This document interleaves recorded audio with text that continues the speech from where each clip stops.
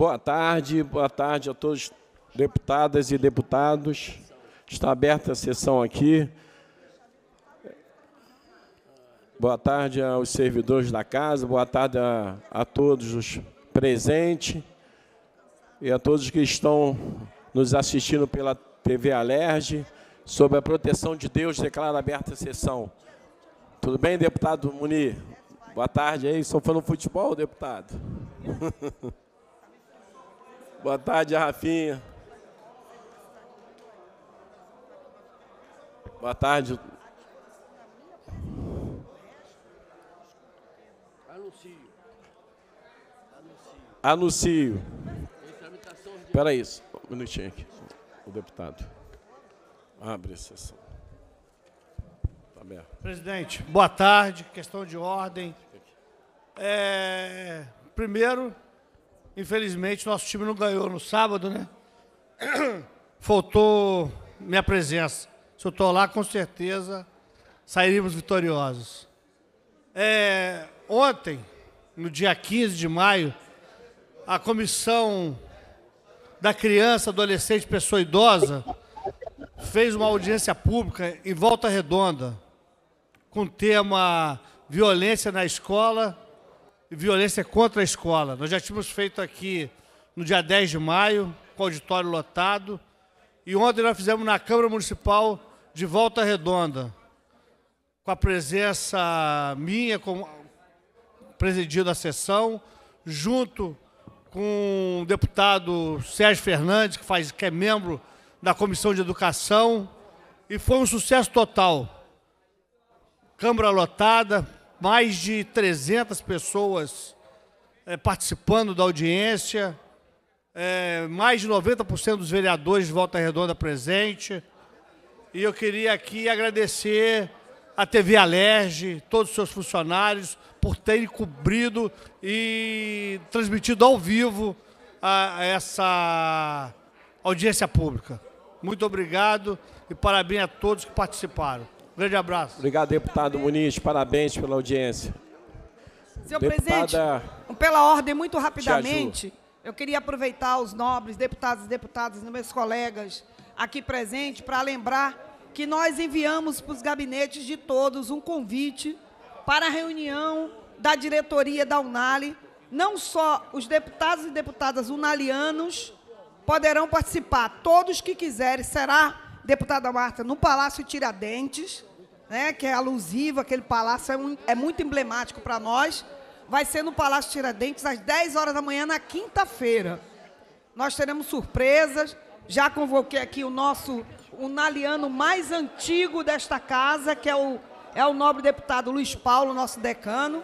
E todos os deputados e deputadas estão convidados. O convite já foi entregue no gabinete de Vossas Excelências. Quinta-feira, às 10 da manhã, reunião da diretoria da Unali. Nós trouxemos dessa feita para o Rio, estaremos recebendo mais de 20 deputados do nosso Brasil, deputados estaduais, e as pautas interessam a todos nós. Uma das pautas que nós discutimos na Unali é a questão da nossa. É, de termos emenda impositiva, que eu já até fiz a proposição aqui, de uma é, indicação legislativa. E tantas outras pautas que interessam ao, ao parlamento, ao legislativo. Então, estão todos e todas convidados, você que é unaliano e unaliana, e você que não é, que deseja conhecer o trabalho da Unali, que é a União dos Legisladores e Legislativos do Brasil. Então, o convite já está com todos vocês. Eu gostaria de recebê-los, me ajudar a receber essa comitiva que vem de todo o Brasil, de, do, de Manaus, da Bahia, do sul do país. Os deputados e deputadas, Dani e todos vocês estão convidados. Muito obrigada, presidente. É, senhor presidente, questão de ordem aqui. Questão de ordem. É, eu vou, inclusive, presidente, dialogar futuramente com o nosso presidente da casa, deputado Barcelar, porque eu queria trazer aqui uma situação que ocorreu ontem e entender quais são os novos procedimentos da casa, da presidência, da mesa diretora, em relação à transmissão da TV Alerj. Por quê, deputado presidente? Ontem fizemos uma linda homenagem aqui, nesse mesmo plenário. A gente homenageou deputada Zeidan Alexandre, que é o mais conhecido e reconhecido como o Babu, um expoente do cinema e da TV brasileira e diversos outros grupos culturais. Nesse exato momento, às 18h30, não acontecia nenhuma outra sessão na casa, nem solene, nem legislativa. Nós fizemos o pedido, oficiamos a TV Alerj. A TV Alerj nos informou que seria transmitido ao vivo, não apenas gravado. Até às sete da noite, a nossa assessoria conversava com a TV Alerj e a sessão seria transmitida. A sessão não foi transmitida em nenhum dos dois canais da TV Alerj, nem o oficial, nem o Alerj digital não tinha nada de novo sendo transmitido no horário. Era retransmissão de programas. E programas importantes. A TV Alerj faz um excelente trabalho. Nenhum demérito ao trabalho da TV Alerj. Produz programas conscientes, educacionais, informativos à população. Mas, para mim, é um demérito, é um desprestígio a minha atuação parlamentar, a uma sessão solene que é prevista no regimento, que é prevista inclusive a transmissão pelo regimento, não ser transmitida e até o presente momento o nosso mandato não ser informado do porquê. Então eu venho aqui trazer esse desabafo bastante descontente e peço para que a mesa diretora, a presidência, tome ciência dos procedimentos e nos publicize, porque até então, pelo regimento, está resguardado que qualquer sessão, seja solene ou legislativa, tem prioridade de transmissão. Então, transmitir programa repetido para não transmitir a medalha do Babu é um desrespeito a essa casa, é um desrespeito à atuação do ator que é o Babu, um brilhante ator que nos, blindou, nos brindou né, com diversas produções cinematográficas, como o próprio filme Timaya. Então, me desculpe, deputado presidente Brazão, mas assim, é, de fato o desabafo é necessário porque eu, deputada Dani Monteiro, estou extremamente descontente e me sentindo desrespeitada na minha atuação parlamentar. Não poderia não usar o microfone hoje para vir aqui denunciar e espero da mesa diretora não sei se de Vossa Excelência ou do nosso presidente Barcelar, mas espero respostas sobre o que aconteceu ontem. Não aceitarei a, a, o desrespeito, o demérito, a atuação seja minha ou de qualquer um dos outros 69 parlamentares. Se um deputado viesse aqui falar o mesmo que eu estou falando hoje, eu o apoiaria, porque o que aconteceu ontem é inadmissível. Presidente, é, Dani, olha só, nós vamos levar esse Deputada, nós vamos levar o conhecimento, tá, deputada? Vamos levar ao conhecimento disso aí para a gente tomar providência. Tá? Só para deixar nítido, a TV Alerj veio, fez a filmagem, pegou as entrevistas. O problema é não foi transmitido ao vivo, deixou de transmitir para transmitir um programa repetido. Isso não faz sentido, inclusive, de acordo com o nosso regimento, porque se há sessões solenes ou legislativas, elas têm prioridade. E a minha sessão era a única que estava acontecendo ontem, usando o plenário da casa. Não era no auditório, não era lá em cima, não era externa. Era aqui no plenário. O... Essa é a diferença, deixar bem registrado e nítido. De... E me desculpe qualquer não. destempero aqui, deputado presidente, mas peço diretamente da mesa diretora informações sobre isso. Você, a deputada, olha só também, todas as vezes que a TV Alerj trabalhou contigo, né, vários momentos também, sabe, no mandato teu passado, sempre fez, né, direitinho. Então a gente tem que ver só apurar o que aconteceu, tá? E que não possa acontecer de novo, não só contigo, com qualquer parlamentar aí que os direitos são iguais, né? Não, deputado. Exatamente. Só desculpe, deputado, mais não. um tempo, mas reafirmar o trabalho da TV Alerj é impecável. Eu sempre fui extremamente bem tratada Isso. por todos os trabalhadores. Já fui chamada a dar entrevistas em programas da TV e sempre fui. Aqui sempre me entrevistam dos meus projetos. Não estou falando de nenhum caos passado ou pregresso. A minha história com a TV Alerj é irretocável. Eu estou falando exclusivamente da transmissão ao vivo de ontem. Isso aí, sabe qual foi o problema? O jogo do Val. O Val aqui, o jogo do futebol dele deve ter atrasado, né, Val? Deve ter sido problema com o jogo dele, futebol. É, tô brincando só. Questão de ordem também, presidente. Quero falar, dar toda a solidariedade à fala da minha deputada Dani. É muito importante a colocação da deputada aqui para que a gente possa estar ajeitando o que não está funcionando. Também faço coro quando a deputada elogia o trabalho hoje da comunicação na TV, da TV Alerj, toda a comunicação aqui da casa. Os profissionais são super é, comprometidos, sérios, sempre nos entrevistam, mas um caso como esse, em que não há outra, não há concorrência né, de solenidade, é inadmissível, é um desrespeito é, com qualquer parlamentar e tem a minha solidariedade, vou colocar, apresentar essa questão na mesa diretora. Presidente Brazão, ah, desculpe. É, quero também ah, solicitar, desculpe. presidente, a retirada da pauta de hoje é, do PL 3282, de minha autoria. Só para retirar da pauta, por favor. Presidente Brazão, bem rápido. É muito rápido. Também para me solidarizar com a deputada Dani, Dani Monteiro, e também dizer da excelência do trabalho da TV Alerge. Viu, presidente Brazão? Eu quero dizer o seguinte, da excelência do trabalho da TV Alerge, que é maravilhosa, nos trata todos muito bem, um nível de profissionalismo top de linha, sou testemunho disso, de muitos anos, cada vez melhora.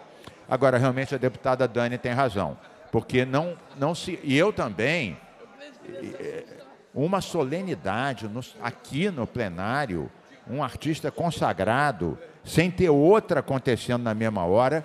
Isso deve ser averiguado, deve ter sido algum descompasso, porque a, a deputada pediu, informou, a TV Alerte sempre cobre tudo com a melhor categoria, deve ter tido algum ruído de informação, ninguém vai acreditar que tenha havido uma perseguição que seria uma coisa inaceitável. Mas Vossa Excelência, né, como presidente em exercício, como vice-presidente da casa, pode pedir para informar o que, que aconteceu. Deve ter tido realmente algum problema na ordem de comando, porque não vejo nenhuma outra explicação plausível. Obrigado, deputado.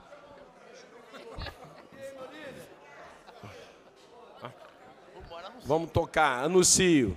Em tramitação ordinária e segunda discussão, redação do vencido, assim emendado. Projeto de lei 3795 barra 2018, de autoria do deputado Rosenberg Reis, que dispõe sobre as revisões de veículos automotor fora das oficinas credenciadas ou autorizadas pela, pelo fabricante. Em discussão. Em discussão. Não havendo quem queira discutir. Não havendo com, queira, com quem queira discutir. Encerrada a discussão. Em votação. Em votação. Em votação. Encerrada a emenda? Não, em votação. Ah, em votação, emenda de, emenda de redação. Senhores que aprovam, permaneçam como estão. Aprovado. Em votação, em votação a, redação vencido, assim a redação do vencido assim emendado. Senhores que aprovam, permaneçam como estão. Aprovado. Vai autógrafo. Vai autógrafo. Esse aí é para retirar. A pedido do É, ao pedido da autora, então, vou retirar o projeto de lei da deputada Zeidan, tá? 3282. Projeto de lei 246, barra 2023, de autoria do deputado Carlos Cláudio Caiado, que altera o anexo da lei 5.645, de 6 de janeiro de 2010, para incluir no calendário oficial do Estado do Rio de Janeiro o dia do Grande Prêmio Brasil. Dia do Grande Prêmio Brasil de TUF e dar outras providências. Em discussão. Não havendo quem com queira tenha discutir. Encerrada a discussão. Encerrada a discussão. Em votação. Senhores que aprovam, permaneçam como estão. Aprovado. Vai autógrafo. Em votação, em primeira discussão, projeto de lei 2192, 2013, de autoria do deputado Bernardo Rossi que fica às concessionárias fornecedoras de serviço de TV ou internet por assinatura obrigadas a compensar o assinante que tiver o serviço interrompido e dar outras providências. Parecer das comissões de Constituição e Justiça pela constitucionalidade, com emendas de defesa do consumidor favorável, com as emendas da Comissão de Constituição e Justiça, e de Economia, Indústria e Comércio favorável, com as emendas da Comissão de Constituição e Justiça. Novos pareceres às emendas de plenário das comissões de Constituição e Justiça favorável, de Defesa do Consumidor favorável, de Economia, Indústria e Comércio favorável. Relatores, deputado Luiz Paulo, Jane Mendes, Valdec Carneiro, doutor Serginho, Tiago Pompulha e Dionísio Lins votação, em votação as emendas, as emendas, as emendas da CCJ, da CCJ ao projeto. Ao projeto. Senhores que aprovam, permaneçam como estão, aprovado. Em votação, as emendas de plenário. Em votação, as emendas de plenário. Os parece, dois, é, com os pareceres favoráveis. Senhores que aprovam, permaneçam como estão, aprovado. Em votação, o projeto assim emendado o projeto assim emendado. Senhores que aprovam, permaneçam como estão, aprovado. Vai a redação do vencido, Vai redação do vencido para a segunda discussão. Em primeira discussão, projeto de lei 153-2019, de autoria do deputado Deodalto, que dispõe sobre a criação da política de diagnóstico e tratamento da síndrome da depressão na rede pública de saúde e da outras providências. Parecer das comissões de Constituição e Justiça pela constitucionalidade, com voto em separado pela Constituição, constitucionalidade com emenda do deputado Chico Machado, relator original. De saúde favorável, de orçamento, finança, fiscalização e controle favorável. Relatores, deputado Márcio Pacheco, relator do vencido, Marta Rocha e Renata Miranda. Em discussão. Em discussão. Para discutir. Para discutir, Para discutir Érica Takimoto. Tá,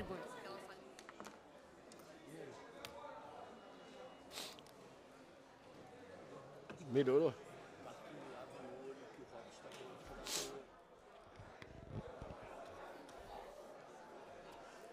Boa tarde a todas as pessoas aqui presentes.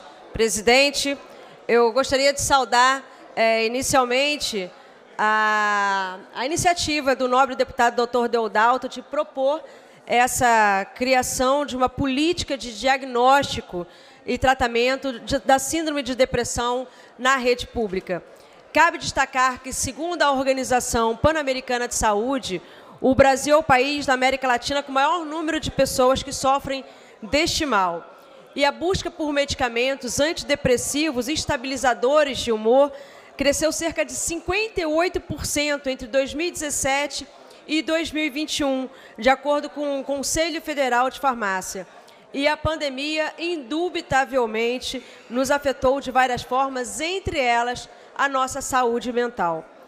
Porém, não há resoluções simples para problemas tão complexos como esse a gente tem que refletir sobre o nosso modo de vida nas cidades e as várias formas de violência, sobre a alienação no trabalho, sobre as imposições de amarras e padrões de sucesso e sobre a pressão constante por sucesso e ganhos materiais.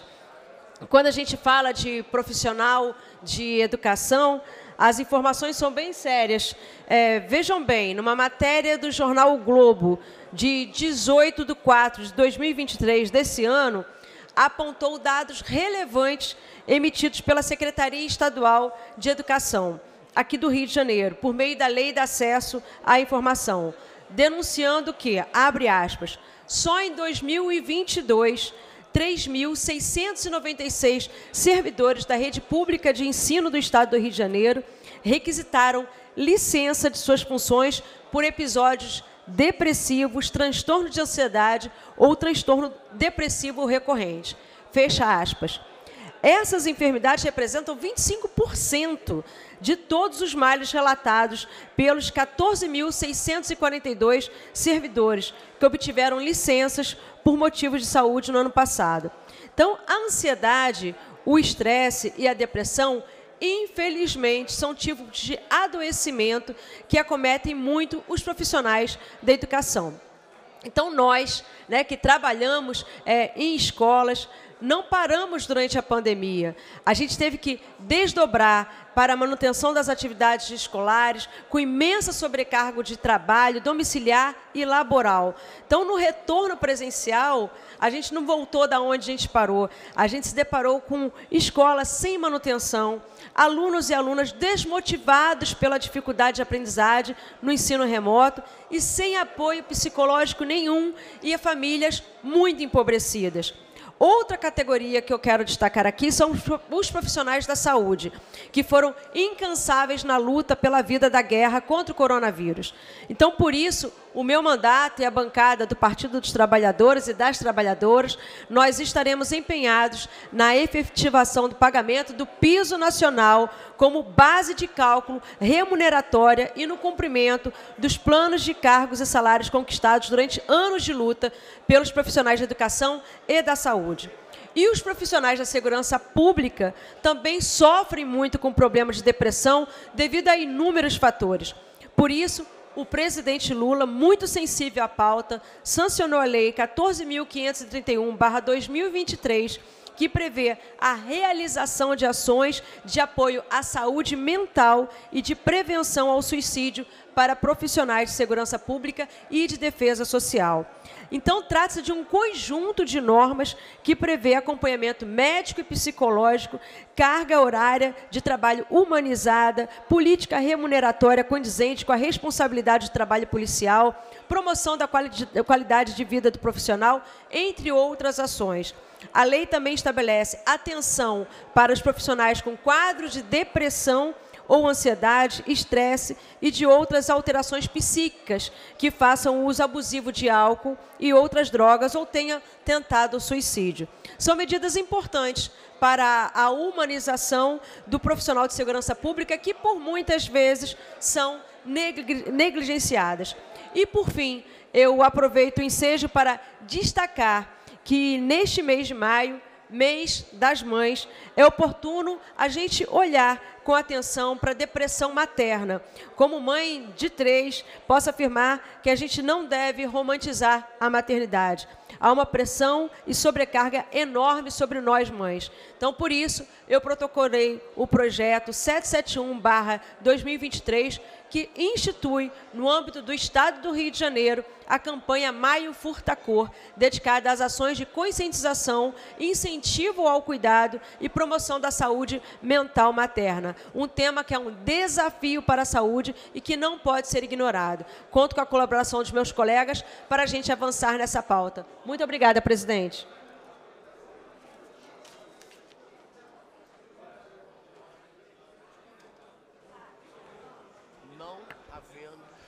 Não havendo mais com queira discutir, encerrar a discussão, a presente proposta. recebeu sete emendas. e retorna às comissões técnicas.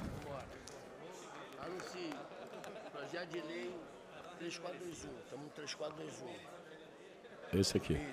Anuncio projeto de lei 3421, barra 2020, de autoria do deputado Márcio Canela, que altera a lei 390, de 26 de dezembro de 1980, e a Lei número 5.645, de 6 de janeiro de 2010, para instituir no calendário oficial do Estado do Rio de Janeiro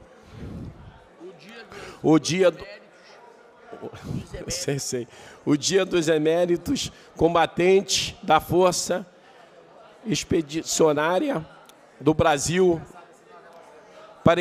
Parecer das comissões de Constituição e Justiça pela Juridicidade. Relator, deputado Rodrigo Amorim. Em discussão. Em discussão. Para discutir, senhor presidente. Para discutir, nosso Yuri, nosso deputado Yuri. Muito obrigado, presidente. Eu quero parabenizar o deputado Márcio Canela por esse projeto de lei. As forças expedicionárias brasileiras são motivo de muita honra e orgulho para as Forças Armadas e para toda a nossa nação a FEB foi para a Europa combater o fascismo. A cobra fumou, como se dizia naquela época. E eu tenho muita felicidade de saber que desses 25 mil homens e mulheres que foram para combater o nazismo e o fascismo na Segunda Guerra Mundial, 204 eram petropolitanos. A gente tem o Museu das Forças Expedicionárias Brasileiras em Petrópolis. Eu tenho uma relação boa com eles há muito tempo. Quando eu tinha programa de TV, fiz o um documentário. Vou procurar os organizadores para que a gente possa revitalizar o museu, colaborar com o nosso mandato. E também temos na Rua do Imperador, a Praça dos Expedicionários, onde tem um monumento em frente ao Teatro Municipal Dom Pedro, e ali a gente tem o um nome desses 204 petropolitanos que lutaram. Então, ter essa data no nosso calendário oficial do Estado do Rio é mostrar para quem ainda não entendeu. As Forças Armadas Brasileiras são fundamentais na defesa da democracia e no combate a qualquer tipo de governo totalitário e de viés fascista e nazista. Então, muito orgulho da FEB, muito orgulho dos pracinhas e fico feliz dessa casa estar reconhecendo esses nobres combatentes. Muito obrigado. Will, é, deputado Uri, parabéns aí pela atitude, tá? Parabéns aí. É, deputado Vitor Júnior, para discutir. Não? Não havendo mais quem queira discutir. Não havendo. Não havendo mais com que discutir, quem queira discutir. Encerrada a discussão. A presente proposta recebeu uma emenda. Retorna às comissões. Em primeira discussão, primeiro dia para recebimento de emendas. Projeto de resolução número 301, barra 2019, de autoria do deputado Renata Souza que altera o artigo 552 do Regimento Interno da Assembleia Legislativa do Estado do Rio de Janeiro, para incluir a previsão de licença maternidade e paternidade parlamentar e da outras providências. Retorna segundo dia para recebimento de emenda.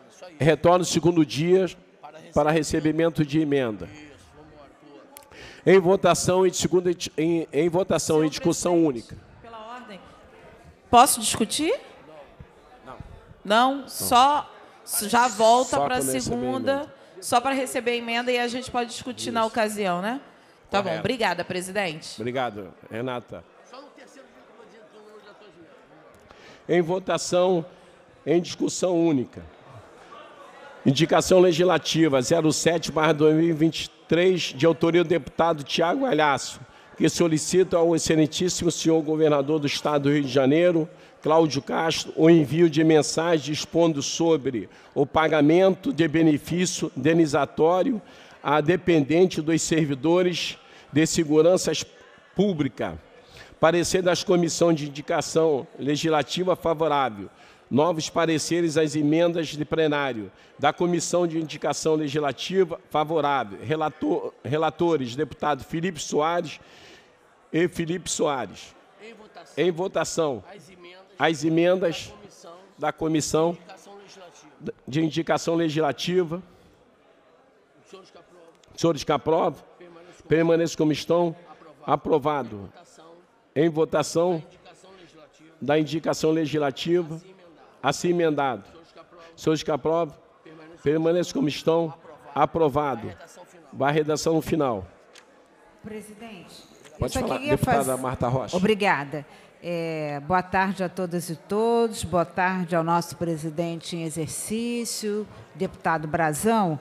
Apenas dizer que as emendas foram de nossa autoria e agradecer aqui o, a, o parecer favorável, porque é, tem, é importante elogiar o deputado Tiago, que está na sua primeira legislatura e já tão atento e preocupado com as questões que envolvem os servidores da segurança pública, em particular, né, a questão que sobre o pagamento de um benefício indenizatório aos parentes, aos dependentes dos agentes de segurança. O deputado Yuri passou aqui dizendo um importante projeto, e é importante mesmo. E a nossa mensagem, a nossa emenda, deputado Tiago, foi para colocar os agentes de segurança socioeducativa, aqueles agentes que atuam no sistema de gás, que também faz parte desse cinturão de segurança. Então, agradecer ao deputado Tiago a iniciativa, agradecer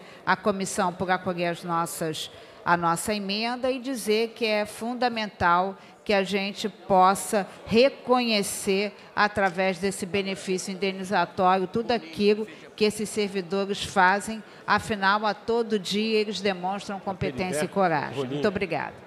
Senhor presidente, só para questão de ordem, fazer o registro também da iniciativa, saudar o deputado Tiago Galhaço, porque cada vez mais precisamos de medidas que protejam os servidores, mas acima de tudo os familiares daqueles que têm a responsabilidade de cuidar da segurança pública do Estado do Rio de Janeiro.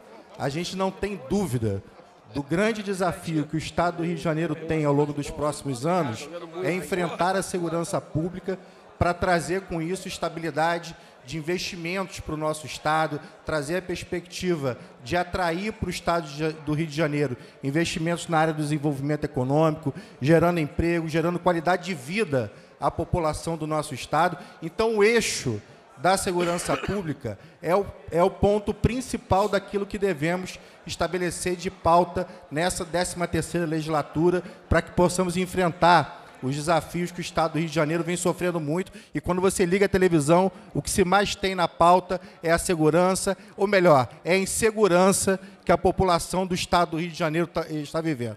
Então, a iniciativa do, do deputado Tiago Galhaço traz esperança e oportunidade aos familiares daqueles que cuidam da segurança pública do Estado do Rio de Janeiro, como é também, eu não me engano, mas eu acho que é do deputado Bruno Galhaço, Bruno Galhaço, perdão, Bruno Dauari, são parecidos, né? Os olhos são muito parecidos um do outro. Mas o deputado Bruno Dauari, eu não me lembro, no início, na primeira semana é, de sessão, nós votamos aqui também, oferecemos emenda para que os familiares é, dos deputados, eu acho que não, sei, não lembro se era do deputado Bruno ou da deputada Tia Ju, que tratava de apoio aos familiares que se encontravam em situação de internação familiares que moravam em municípios distantes e que tinham que se deslocar para a capital para atendimento ou daqui para outro município. A gente também ofereceu emendas. Então, saudar o deputado Tiago Galhaço, o deputado Bruno Dauária, a deputada Tia Ju, por todos esses projetos e aquela que é minha referência em política de segurança, que é a nossa querida deputada Marta Rocha. Para discutir, presidente. Eu quero só a, anunciar a presença do nosso prefeito Rolim de Aperibé, tá? Presente aqui. Aperibé é nosso prefeito também de Sumidouro, Pé Liso. Pode falar, deputado. Quero parabenizar também o deputado Tiago Galhaço pela proposta, muito importante. A emenda feita pela deputada Marta Rocha também acrescenta uh, um rol de direitos, incluindo os agentes socioeducativos, fundamentalmente. E quero lembrar, nós defendemos um Estado que cuida. E um Estado que cuida precisa valorizar seus servidores, precisa valorizar seus agentes de segurança pública. Só até o dia 20 de abril desse ano, 50 agentes de segurança pública foram baleados, 25 morreram. A maioria deles é de PMs, 21 desses 25 eram policiais militares. Então isso já demonstra, presidente, que existe um erro na política de segurança pública. Não dá para a gente continuar tendo a polícia que mais morre e a que mais mata. Porque eu tenho certeza que não é a polícia que quer mais morrer, não é a polícia que quer mais matar. Então a proposta do deputado Tiago Galhaço, ela fortalece a ideia de que nós temos que cuidar das famílias desses baleados, desses vitimados, desses que tiveram sequela por combate. E aí eu quero lembrar que já protocolei indicação nessa casa pelo pagamento da GRAM, que é a gratificação de risco da atividade militar, para os veteranos, para as viúvas e para os pensionistas. Não sou só eu que estou lutando, não, vários deputados estão nessa pauta. Protocolei uma indicação também pelo aumento do vale alimentação da Polícia Militar, que hoje é de 162 reais. Isso é um absurdo. O vale transporte é de 100 reais por mês.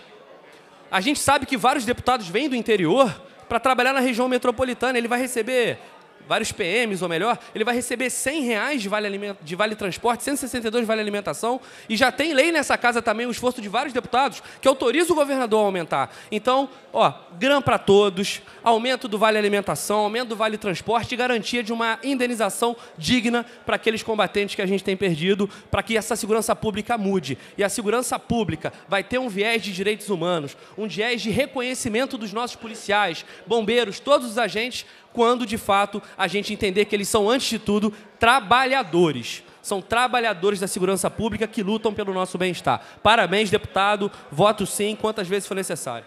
Muito obrigado. Voto, nosso autor, né, o nosso é. deputado Tiago Muito obrigado. Queria muito agradecer de, do fundo do meu coração a todo o apoio da Marta Rocha, do Yuri, deputados também, que, que a gente tem uma, uma ótima relação. É, como eu lembro Aí falo para os meus eleitores, eu estou aqui para aprender. Isso está sendo uma escola para mim, um grande aprendizado.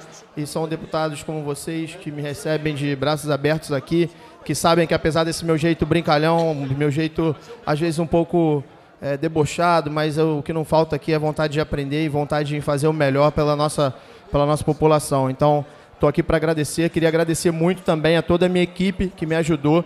É, na verdade, isso foi um assunto que começou de uma forma é, do dia a dia, eu conversando com a, com a coronel Lenise Durão Shoa, que é a primeira médica a chegar num patamar full da PM, uma policial militar exemplar que, que passa muitas verdades, muita realidade do que acontece. Então, estou aqui para mandar um abraço para ela, um beijo.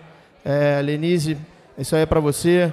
Léo Show, seu filho, toda a minha parte jurídica, estou aqui para agradecer e agradecer principalmente aos deputados que me apoiam e que, por mais que a gente tenha divergências ideológicas, a gente visa também o melhor para a sociedade e visa também o melhor para casa. Então, isso que, que vai valer muito a pena, tanto na cultura, é, tanto com os outros deputados. Então, só para agradecer e falar que eu fico muito feliz de ser recebido por vocês aqui dentro dessa casa. Também para discutir. Discutir nosso deputado Carlos Mick. Presidente Brazão, queria também, como meus colegas, me solidarizar com essa indicação legislativa 7 de 23 do deputado Tiago Gagliaso. Sim, é necessário garantir o benefício indenizatório. Por que não? Né? Dependente de servidores de segurança pública, com certeza. O que foi dito aqui, né? Por vários deputados, deputado Vitor Júnior, deputado Yuri. Nós temos que valorizar os servidores e, e, e naturalmente, é, levar em consideração, deputada Tiaju, os seus dependentes. É uma questão de justiça.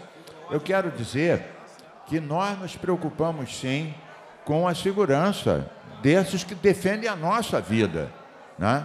Inclusive, deputado Brazão, deputada Tiaju, a, a lei das câmeras nos uniformes, não sei se vocês viram os dados de São Paulo, reduziu não só a mortalidade de civis, como reduziu a mortalidade dos policiais. Vossa Excelência viu, Tia Ju. Então, nós temos que ver como aumentar a proteção desses servidores. Então, nós somos completamente favoráveis, também apoiamos a, a emenda oferecida pela deputada Marta Rocha. Eu queria apenas, para concluir, deputado Brazão. Também é, falo com o nosso senador Marquinho. Senador Marquinho.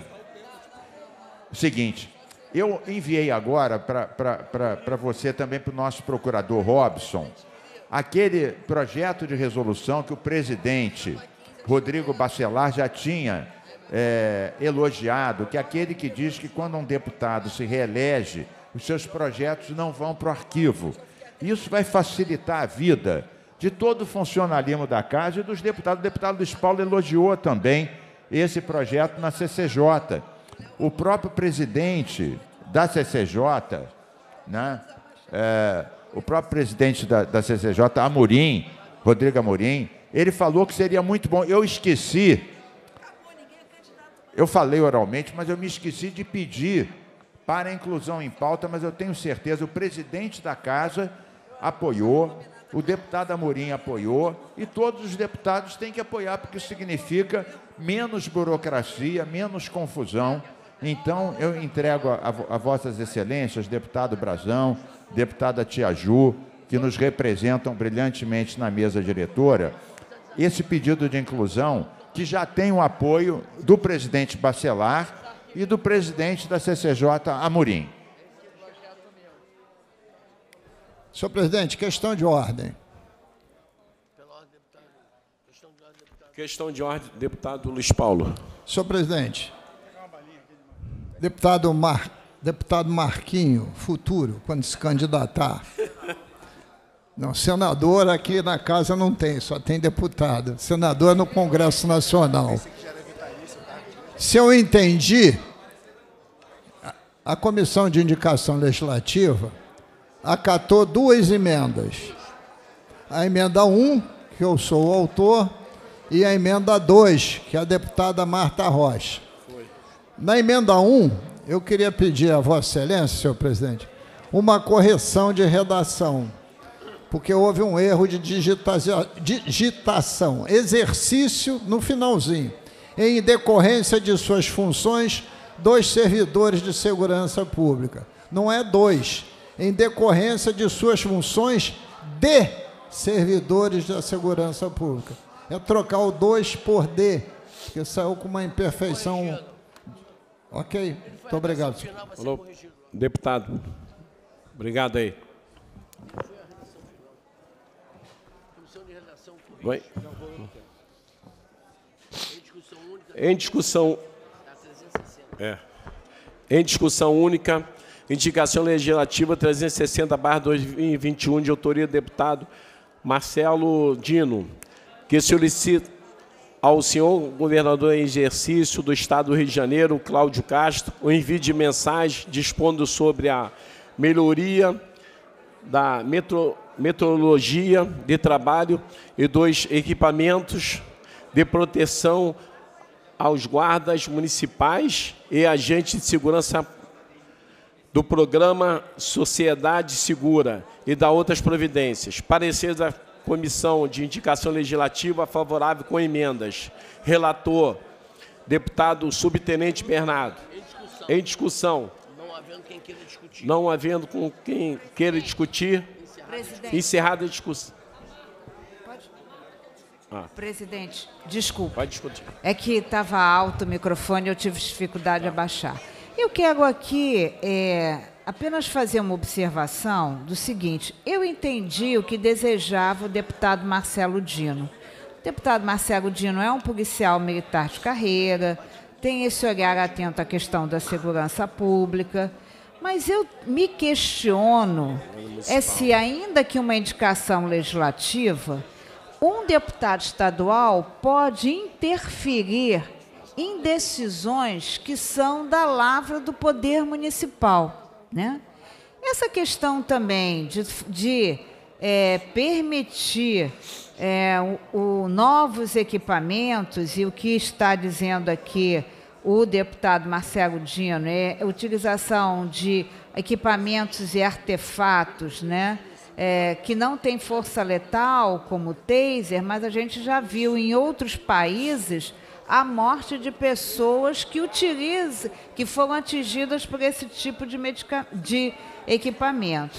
Então, na verdade, eu quero apenas dizer o seguinte: eu vou votar na abstenção porque eu continuo achando, com todo respeito, e não quero fazer juízo de valor a quem deu o parecer favorável, que eu consigo entender né, o que, que é, qual foi o objetivo, mas é bom a gente também não perder de, de visão que o órgão especial Tribunal de Justiça, em abril deste ano, julgou constitucional um dispositivo da lei orgânica do município que permite a utilização de arma de fogo, já que no ano passado houve uma tramitação né, de, uma, de uma ação de um partido político questionando isso. Mas como eu acho que é, o caráter aqui é uma interferência indevida na decisão do município, eu quero dar desde já, ao discutir, já apresentar minha abstenção, porque eu acho que não cabe a esse poder interferir nas decisões do município. Muito obrigada e desculpe a demora de chegar até aqui. Tá, deputada. Élica. Presidente, queria encaminhar a abstenção da bancada do PT. Senhor presidente. Para discutir. É, a gente tem a lei 13.022 de 2014, da época do governo Dilma, que criou o Estatuto da Guarda Civil, que normatizou, de certa forma, a atuação desses agentes importantes na municipalidade, pela segurança, pela defesa da cidadania e do patrimônio. Mas eu concordo com a deputada Marta Rocha. Eu tenho preocupação como a forma de uma indicação legislativa no parlamento estadual pode interferir tanto na lei federal como na autonomia dos municípios. E eu sou um municipalista, até início do ano eu era vereador.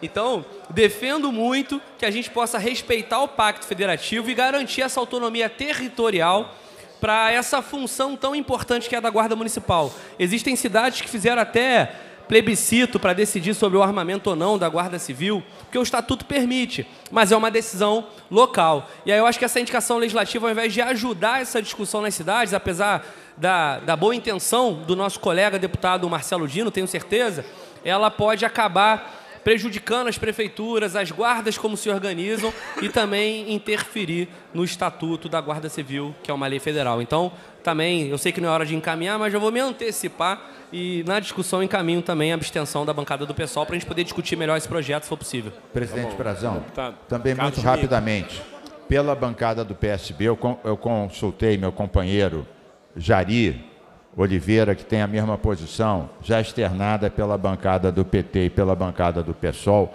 Então, o PSB também se abstém pelas mesmas razões que foram levantadas pelos nossos. Claro, respeitando a, a posição do deputado Marcelo Dino, entendendo que há uma intenção boa, mas pelas razões apontadas, nós no, nos abstivemos.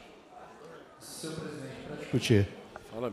Senhor presidente, eu estava é, até conversando com minha colega agora, deputada Marta Rocha, é porque eu entendo que indicação legislativa e projeto autorizativo não é imposição daquilo que o Poder Executivo deve colocar em prática. Quando você aprova uma lei nessa casa, é, em outro regime, você com isso você obriga ao governador do estado do Rio de Janeiro a tornar essa lei um ato legal ou você veta essa lei e essa lei retorna ao parlamento. Quando você faz uma indicação ou um projeto autorizativo, você dá flexibilidade ao governador de fazer com que aquela indicação ou aquele projeto autorizativo é, possa ser executado. Eu entendi a, a, questão de encaminhamento da minha colega deputada Marta Rocha, porque é uma questão de conteúdo nesse tema. E aí é uma posição que ela traz se colocando a favor ou contra o conteúdo da indicação legislativa. Mas eu só tenho medo para a gente não acabar transformando indicação legislativa e projeto autorizativo igual aquelas discussões que nós tivemos aqui no passado de concessão de medalhas. Fica uma coisa que parece que a gente vai no cerne do, da indicação, tendo em vista que cabe ao Poder Executivo tomar a decisão de acatar ou não. Então, a gente tem que tomar muito cuidado com essa questão, a, apesar de que é, a indicação feita, ela sofreu emenda que acrescentou no conteúdo dela a Guarda Municipal, derivado dos programas de convênio do segurança presente, porque a Guarda Municipal agrega as forças de segurança pública do Estado, então é permitido a ela também a utilização de determinados equipamentos na área da segurança pública. O que cabe é ao governo do Estado do Rio de Janeiro, através desse conteúdo de convênio, atender o que a legislação estadual permite e respeitando o que cada município determina de utilização de equipamentos de segurança nas guardas municipais em cada um dos, dos municípios do Estado do Rio de Janeiro. Eu não vou me abster, vou votar a favor de indicação, porque eu quero aqui manter uma rotina que indicação é o ato do deputado que dá sugestão ao governador ou ao prefeito, de, e ele, o governador ou o prefeito, não sofre imposição por essa casa. E simples, é simplesmente uma sugestão encaminhada ao Poder Executivo Municipal. Parabéns, deputado, para discutir. Para discutir, senhor presidente. É, concordo com as colocações apresentadas aqui pelo nobre deputado que me antecedeu. E aí eu queria já encaminhar a abstenção da bancada do PCdoB e muito ligado ao mérito e ao inteiro teor da indicação, que endurece a repressão num cenário, inclusive, que a gente tem assistido de maior repressão, não só dos agentes de segurança pública estaduais, mas também dos municipais, que têm agido de truculência para retirar trabalhadoras e trabalhadores aqui por exemplo, no município do Rio de Janeiro, de forma muito severa, utilizando inclusive mecanismos que são extremamente questionáveis, que coagem e que reforçam o papel coercitivo e violento do Estado. Nesse sentido, a gente encaminha aqui a abstenção do PCdoB. Obrigada, presidente. Nada. Não havendo mais com que queira discutir, em votação as emendas das comissões de indicação legislativa. Senhores que aprovam, permaneçam como estão. Aprovado. Em votação, indicação assim emendado. Senhores que aprovam, permaneçam como estão. Aprovado. Vá a redação final. Indicação legislativa 37, barra 2023, de autoria do deputado Elton Cristo, que solicita ao excelentíssimo senhor governador do Estado do Rio de Janeiro, senhor Cláudio Castro, a instalação de um hospital veterinário estadual no município de Queimados. Parecer das comissões de indicação legislativa favorável. Relator Felipe Soares. Em discussão. Em discussão. Não havendo. Não havendo quem queira discutir. Encerrada a discussão. Em votação. Senhores que aprovam, permaneçam como estão. Aprovado. Vai à publicação. Indicação legislativa número 58, barra 2023, de autoria dos deputados Alan Lopes, Rodrigo Amorim, Márcio Galberto, Índia Armelau, Felipe Pobel, Marcelo Sodino que solicita ao excelentíssimo senhor governador do Estado do Rio de Janeiro, senhor Cláudio Castro, um envio de mensagem expondo sobre a criação do programa Escola Segura no âmbito do Estado de Janeiro. Parecer das comissões de indicação legislativa favorável. Deputado, é, relator, deputado Felipe Soares. Em discussão. Em discussão. Não havendo quem queira discutir. Dona deputada Marta Rocha, Presidente, na verdade eu só queria um esclarecimento da mesa. Pode ser que eu tenha entendido errado, mas na semana passada se apreciou aqui a indicação legislativa 47 de 2023, de autoria do deputado Márcio Gualberto, que tratou exatamente do mesmo tema. Inclusive com a mesma com o mesmo título, né? Mensagem sobre a criação do programa Escola Segura. Então eu queria, eu, e agora surge o mesmo projeto, né, também com a participação do deputado Márcio Alberto, deputado Alan Lopes. Se eu não tiver certa, o que teria que fazer é, no projeto, na indicação anterior, que, salvo o melhor juízo, já foi aprovada, a inserção do nome de todos esses parlamentares. Tá? De repente, seria dar continuidade aos aos pro, ao próximo projeto e a mesa verificar se eu estou equivocado ou não, mas até onde eu me recordo, pedi até a minha assessoria para verificar, houve essa indicação 47 de 2023. Deputada, recebeu 11 emendas, vai sair de volta e vamos analisar. É, indicação. É, recebeu 11 emendas. Para discutir. Para discutir nosso. Não, discutir. Não. Érica Takimoto. Para discutir. É, presidente, relativo a essa indicação legislativa em pauta, eu queria dizer que eu emendei o projeto também para organizar um pouco mais o papel de cada participante nesse programa proposto. Né? Eu concordo que esse tema da segurança nas escolas é de primordial relevância mas eu alerto que é preciso ter muito cuidado, sabe? Para que eventuais efeitos colaterais de medidas adotadas com a intenção de melhorar não venham atrapalhar o sistema de ensino. O projeto não deixa é, tão nítida a função e os limites do agente de segurança na execução desse programa. Isso me preocupou muito. Quem deve gerir e conduzir o projeto pedagógico e psicossocial, é, bem como o funcionamento da unidade escolar, são os profissionais da educação. E agora é preciso a gente se lembrar que a gente está falando de crianças e adolescentes, Então, de modo que qualquer mudança no funcionamento do local de ensino, mesmo que voltado para a sua segurança, não pode ser capaz de ferir autonomia de educadores e educadoras. A identificação de questões de saúde mental, ou mesmo a identificação é, da prática de atos que pode ser causa de alguma violência, não é uma atribuição de agente de segurança. A maioria é, nem capacitado é para exercer essa função. Isso é um ponto importante ser colocado. E há profissionais muito mais capacitados e habilitados a identificar a origem de tal situação. E, de igual forma, os agentes de segurança não são mais aptos a transmitir valores éticos e morais aos alunos, como sugere esse texto do projeto. Né? Os profissionais da segurança são trabalhadores valiosíssimos que merecem todo o respeito da sociedade, mas não se pode confundir esse respeito e o valor dessas pessoas com atribuição e funções que não dizem respeito à sua formação profissional. Excepcionados agentes de segurança que se especializarem especificamente nos temas de educação e de saúde mental. Enfim, é, é, mais um detalhe né, nessa, nessa, nessa, nessa, nessa proposição aqui, já que na justificativa consta que contribui para essa elaboração dessa indicação legislativa o senhor Pazuello, que foi um militar colocado na cadeira do ministro da Saúde no momento mais crítico que a pasta da saúde do Brasil já atravessou, causando um desastre né, é, no combate à Covid-19. Então, esse senhor, né, sem nenhum conhecimento nem experiência na saúde, foi colocado lá e acabou estragando tudo.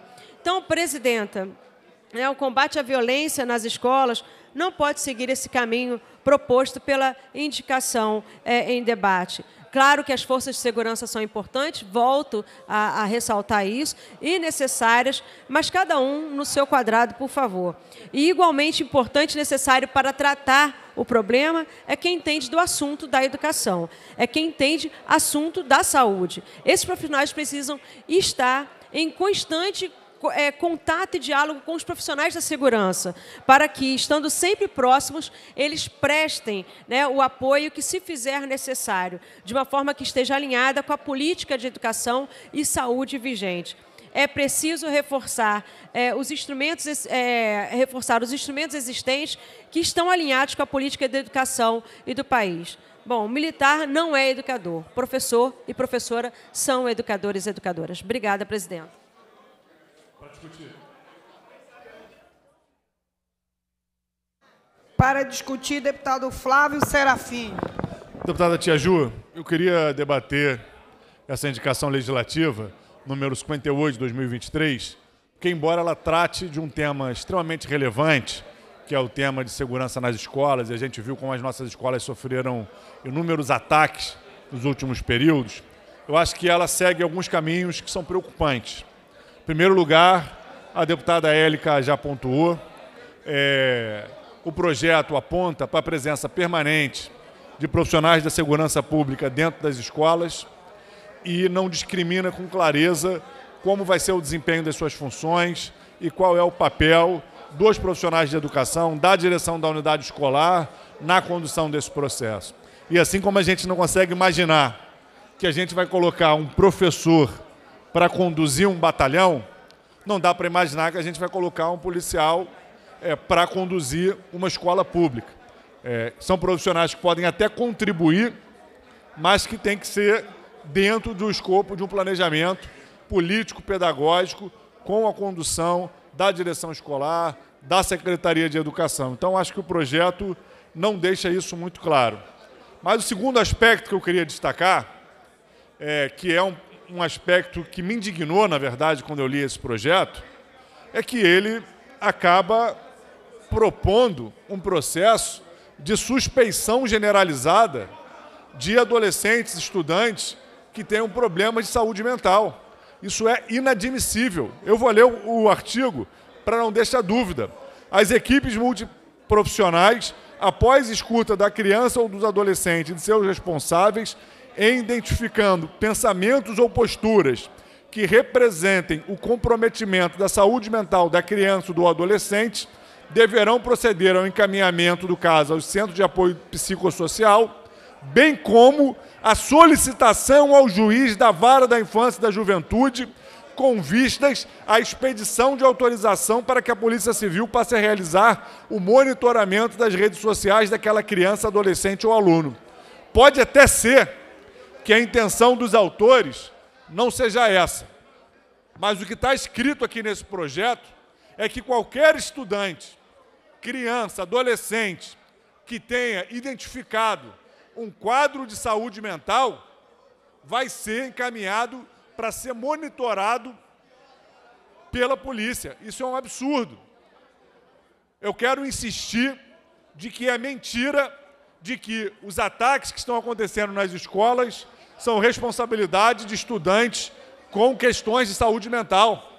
A maior parte dos ataques foram promovidos por extremistas ideológicos. O que esse projeto faz com esse artigo é reforçar uma leitura criminalizante sobre as crianças e adolescentes com sofrimento psíquico, é, é, com transtornos, é, com doenças que devem ser tratadas e não criminalizadas. Então, eu não sei se é esse o objetivo dos autores, mas se não for, eles têm que modificar esse artigo, porque esse é um projeto que culpabiliza as pessoas é, com problemas de saúde mental do processo de violência que tem se feito contra as escolas do Estado do Rio de Janeiro. Para discutir, para discutir, o deputado Vitor Júnior. Presidente, é, eu fiquei um pouco ausente nesse último mês por questões de saúde e me permito aqui pedir desculpas aos colegas parlamentares, à população do Estado do Rio de Janeiro por não ter é, tido uma frequência ativa na reunião de algumas comissões a qual faço parte.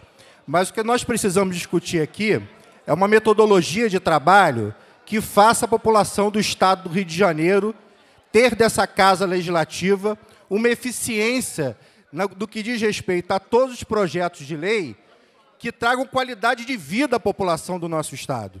Esse, essa questão da educação, que a gente vem tratando aqui, a gente não pode discutir, aí eu não estou falando para deputado A, B ou C, eu não estou aqui apontando qualquer tipo de questão que envolva ideologia, conceito. Eu não quero discutir isso. Não é isso que interessa e que vai salvar a vida dos alunos e dos profissionais da rede de educação do Estado do Rio de Janeiro. O que a gente tem que discutir aqui é uma metodologia de trabalho que, trate, que, que venha trazer um protocolo de eficiência na rede escolar do nosso Estado, que traga segurança para os alunos, para os professores, para os profissionais da área de educação e, acima de tudo, para os trabalhadores da área da segurança pública. É isso que nós precisamos discutir, porque vem um projeto que trata, vamos supor aqui, para a questão de uma câmera. Vem outro projeto aqui que fala da criação de um programa de segurança. Aí vem outro projeto aqui que fala que tem que ter trinco na porta. E, na realidade, a gente não combate a realidade, que é a realidade principal, que nós precisamos ter a unidade no Estado do Rio de Janeiro e criar um protocolo na área da, da educação que possa fazer com que o ambiente escolar seja um ambiente saudável, que seja um ambiente seguro para os alunos e para os profissionais de educação. Essa é a questão principal. Esse é o debate franco que nós temos que fazer aqui entre todos os parlamentares. Eu coloquei, presidente, no grupo de educação, a qual aqui eu faço uma saudação especial ao meu presidente Alain. Coloquei agora no grupo da Ciência e Tecnologia um projeto que nós apresentamos e que eu vou ser muito franco, é um copiar-colar do que o governo do Estado de São Paulo de Minas Gerais fez. E o Rio de Janeiro não fez ainda que é um protocolo que trata desse ambiente de convivência e de segurança nas escolas do Estado de São Paulo e de Minas Gerais. E que a gente precisa trazer para o Estado do Rio de Janeiro. Eu não inventei o projeto, não. Eu só fiz lá, peguei um, fiz um copiar, colar, apresentei o projeto 809 e está na pauta para nossa apreciação. Se a gente não começar a criar aqui uma organização de trabalho para que a gente possa trazer para esse plenário uma discussão que atenda de fato a população do Estado do Rio de Janeiro, infelizmente, a gente não vai resolver o problema que a nossa população vem tendo na área da segurança, de educação, de saúde e tudo aquilo que a gente vem enfrentando nessa casa. Então, eu queria pedir, presidente, que a Comissão de Educação, que a Comissão de Constituição e Justiça pegue todos os projetos que tratem desse tema, vamos fazer uma reunião com todo mundo junto e formatar um projeto único que seja o caso. Tem que parar com essa coisa. É um puxadinho, é um estica-corda. Um puxa para lá, outro puxa para cá e a população do estado do Rio de Janeiro continua sofrendo. É, deputado Vitor Júnior, é, gosto de falar pouco aqui na presidência, mas acho excelente a, a, e oportuna a sugestão de Vossa Excelência, dizendo que, só acrescentando o quê? Todos os parlamentares é, que aqui apresentaram projetos afetos a esse tema estão muito preocupados, sim, com a questão da segurança nas escolas, independente da questão ideológica. Um acha assim, assado, o outro cozido, não importa, mas a preocupação há. Acho excelente, mas o parlamento é soberano. Acredito que o melhor caminho é, é todos se unirem em um só pensamento, num só propósito, que é dar segurança a um ambiente que é o ambiente escolar, que é um ambiente que deve ser um ambiente de paz. Então, acho excelente, mas aí é, deixo para os nossos pares, e a CCJ pode é, estar buscando, ou a própria mesa diretora, essa união e essa, essa junção do, dos projetos, e criar uma proposta, uma proposta que seja uma proposta de consenso, consenso 100% não encontraremos nunca, mas o consenso mais próximo, que é atender a população do Rio, pela qual todos nós estamos aqui representando a parcela da população, eu acredito que encontraremos sim. E aí deixa a proposta para que diante, pode ser pela mesa diretora, pela CCJ, juntar todos os projetos e fazer uma proposta de autoria desta casa, com um conjunto dos 70 deputados, que eu não acredito, deputados e deputadas, ainda sendo redundante, mas eu gosto de ser nesse, nesse sentido, só para lembrar que a gente existe. Mas eu acredito que é um consenso de todos e a apresentação dos diversos projetos é um anseio de buscar uma solução. O colo e copia também acho legal, mas é bom a gente avaliar e analisar cada estado, porque o estado do Rio é um estado diferente de todo o Brasil. Presidente. Só fazendo essa ponderação, mas já excelente. Aqui, antes de passar a palavra para o deputado Fábio, quero anunciar a presença do pastor Pedrão, que é o pastor da comunidade batista do Rio de Janeiro. Pastor, seja bem-vindo, estenda a mão para este lugar, mais uma bênção que todos aqui recebem, não rejeita, com certeza. Presidente, era apenas para registrar a presença do pastor Pedrão, pastor da comunidade Batista do Rio, igreja essa a qual sou membro. E hoje eu tive a honra de receber o pastor Pedrão aqui em meu gabinete e trazendo ele para conhecer também o plenário dessa casa. Pastor Pedrão, que Deus continue iluminando o senhor, a sua vida, intuindo os seus caminhos e que o senhor continue sendo essa pessoa maravilhosa que mudou muitas vidas, inclusive a minha. Que Deus lhe abençoe. Deus abençoe. Deputado Fred Pacheco, é sobre o tema, né? É, pela ordem, presidente, eu gostaria apenas, como estamos tratando a questão de um programa sobre a escola segura, gostaria de dar aqui uma notícia que saiu já no G1 e, infelizmente, é mais uma notícia ruim que envolve um ambiente escolar. Um adolescente autista, mais um adolescente autista agredido com tapas e socos dentro de uma escola do Rio de Janeiro. Esse ataque foi filmado, inclusive, está nas redes sociais e foi publicado no site do G1 no dia 12 de maio. E o adolescente de 16 anos, ele foi agredido na Escola Municipal Marechal Pedro Cavalcante. Fique em paciência. Então, esse é um, mais um assunto que nós precisamos tratar com urgência. Eu fiz, através da Comissão da Pessoa com Deficiência, um ofício para o secretário Renan Ferreirinha, para que nós pudéssemos então agir também à diretoria da escola, porque estes casos não podem ficar impunes. Nós não podemos achar que isso é um assunto a ser dedicado e tratado somente pelos adolescentes. Não, isto é um, isto é um, um assunto urgente. Este adolescente ele foi agredido a socos e pontapés e tapas por alunos. Então, os pais precisam ser também responsabilizados. Nós precisamos tratar esse tema com urgência. Portanto, nós oficiamos a escola, pedimos a atenção especial do secretário, para que nós pudéssemos, então, dar toda a atenção aos familiares e, sobretudo, à sociedade, que hoje busca cada vez mais igualdade, que busca cada vez mais inclusão, e os nossos adolescentes, sobretudo os adolescentes que estão vivendo sob o transtorno do espectro autista, precisam saber que tem que encontrar na escola segurança e dignidade, e não um ambiente hostil que não sabe tratar a situação em que eles estão vivendo. Então aqui vai o meu repúdio a essa situação e com certeza vamos lutar para que esse tipo de situação pare de acontecer nas escolas do Rio de Janeiro. Conte conosco. É, o deputado Alain, um dos autores da, da proposta, para discutir. Senhora Presidente, boa tarde, boa tarde aos nobres parlamentares. Vejam vocês que nós estávamos passando por um período turbulento sobre segurança nas escolas. E o que nós fizemos? Claro, pensamos num projeto que viesse a dar o mínimo de segurança para os alunos, para os professores e para os servidores nas escolas. E o que foi que nós pensamos? Exatamente que nós precisamos de conselheiros, de assistentes sociais, de psicólogos e também de um segurança armado na porta da escola, não dentro da escola, não ocupando a função do professor nem de qualquer outro servidor, mas lá fora. Tomara que nós nunca precisemos acionar esse segurança, mas caso precise, ele tem que estar lá. O grande problema do projeto é que quando fala de segurança armada, fala de polícia, aí a esquerda grita, porque são inimigos da polícia. Mas quando eles precisam, aí eles correm, gritam, 190, né, liga para o secretário, e o que a gente está propondo aqui é segurança para todos, não só para os alunos, como para os professores e para os servidores.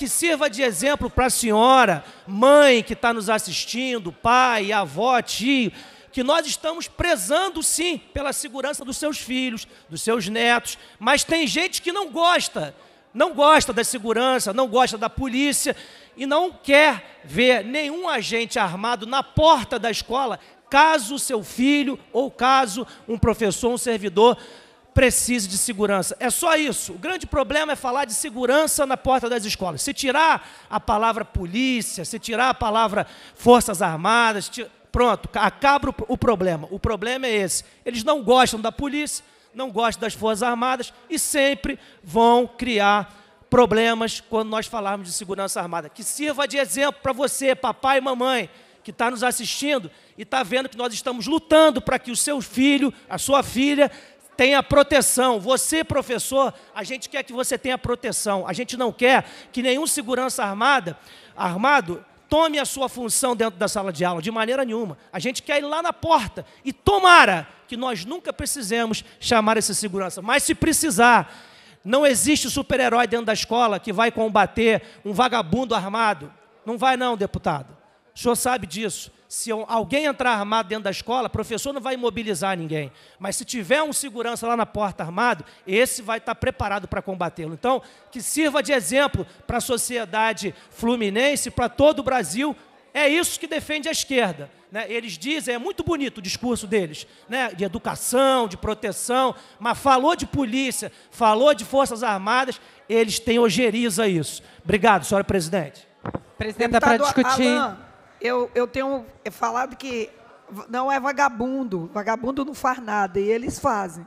São bandidos. Diferente. É tudo de ruim, né? Tudo de ruim que eles gostam Só de defender. Para quebrar um pouco o clima. Discutir, por gentileza. Para discutir, deputada Dani Balbi.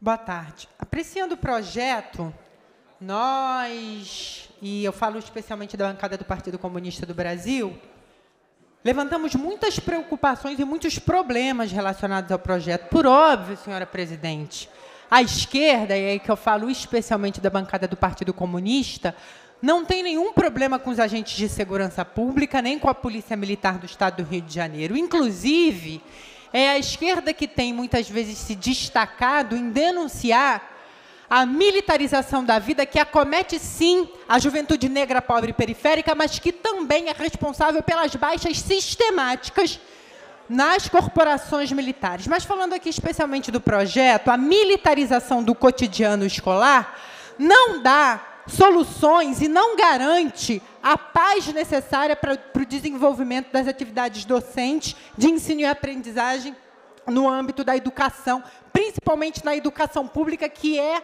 onde os estados, a, a, as regiões conflagradas estão inviabilizando a dinâmica normal da atividade docente e estão inviabilizando, portanto, o direito da juventude de receber educação de qualidade.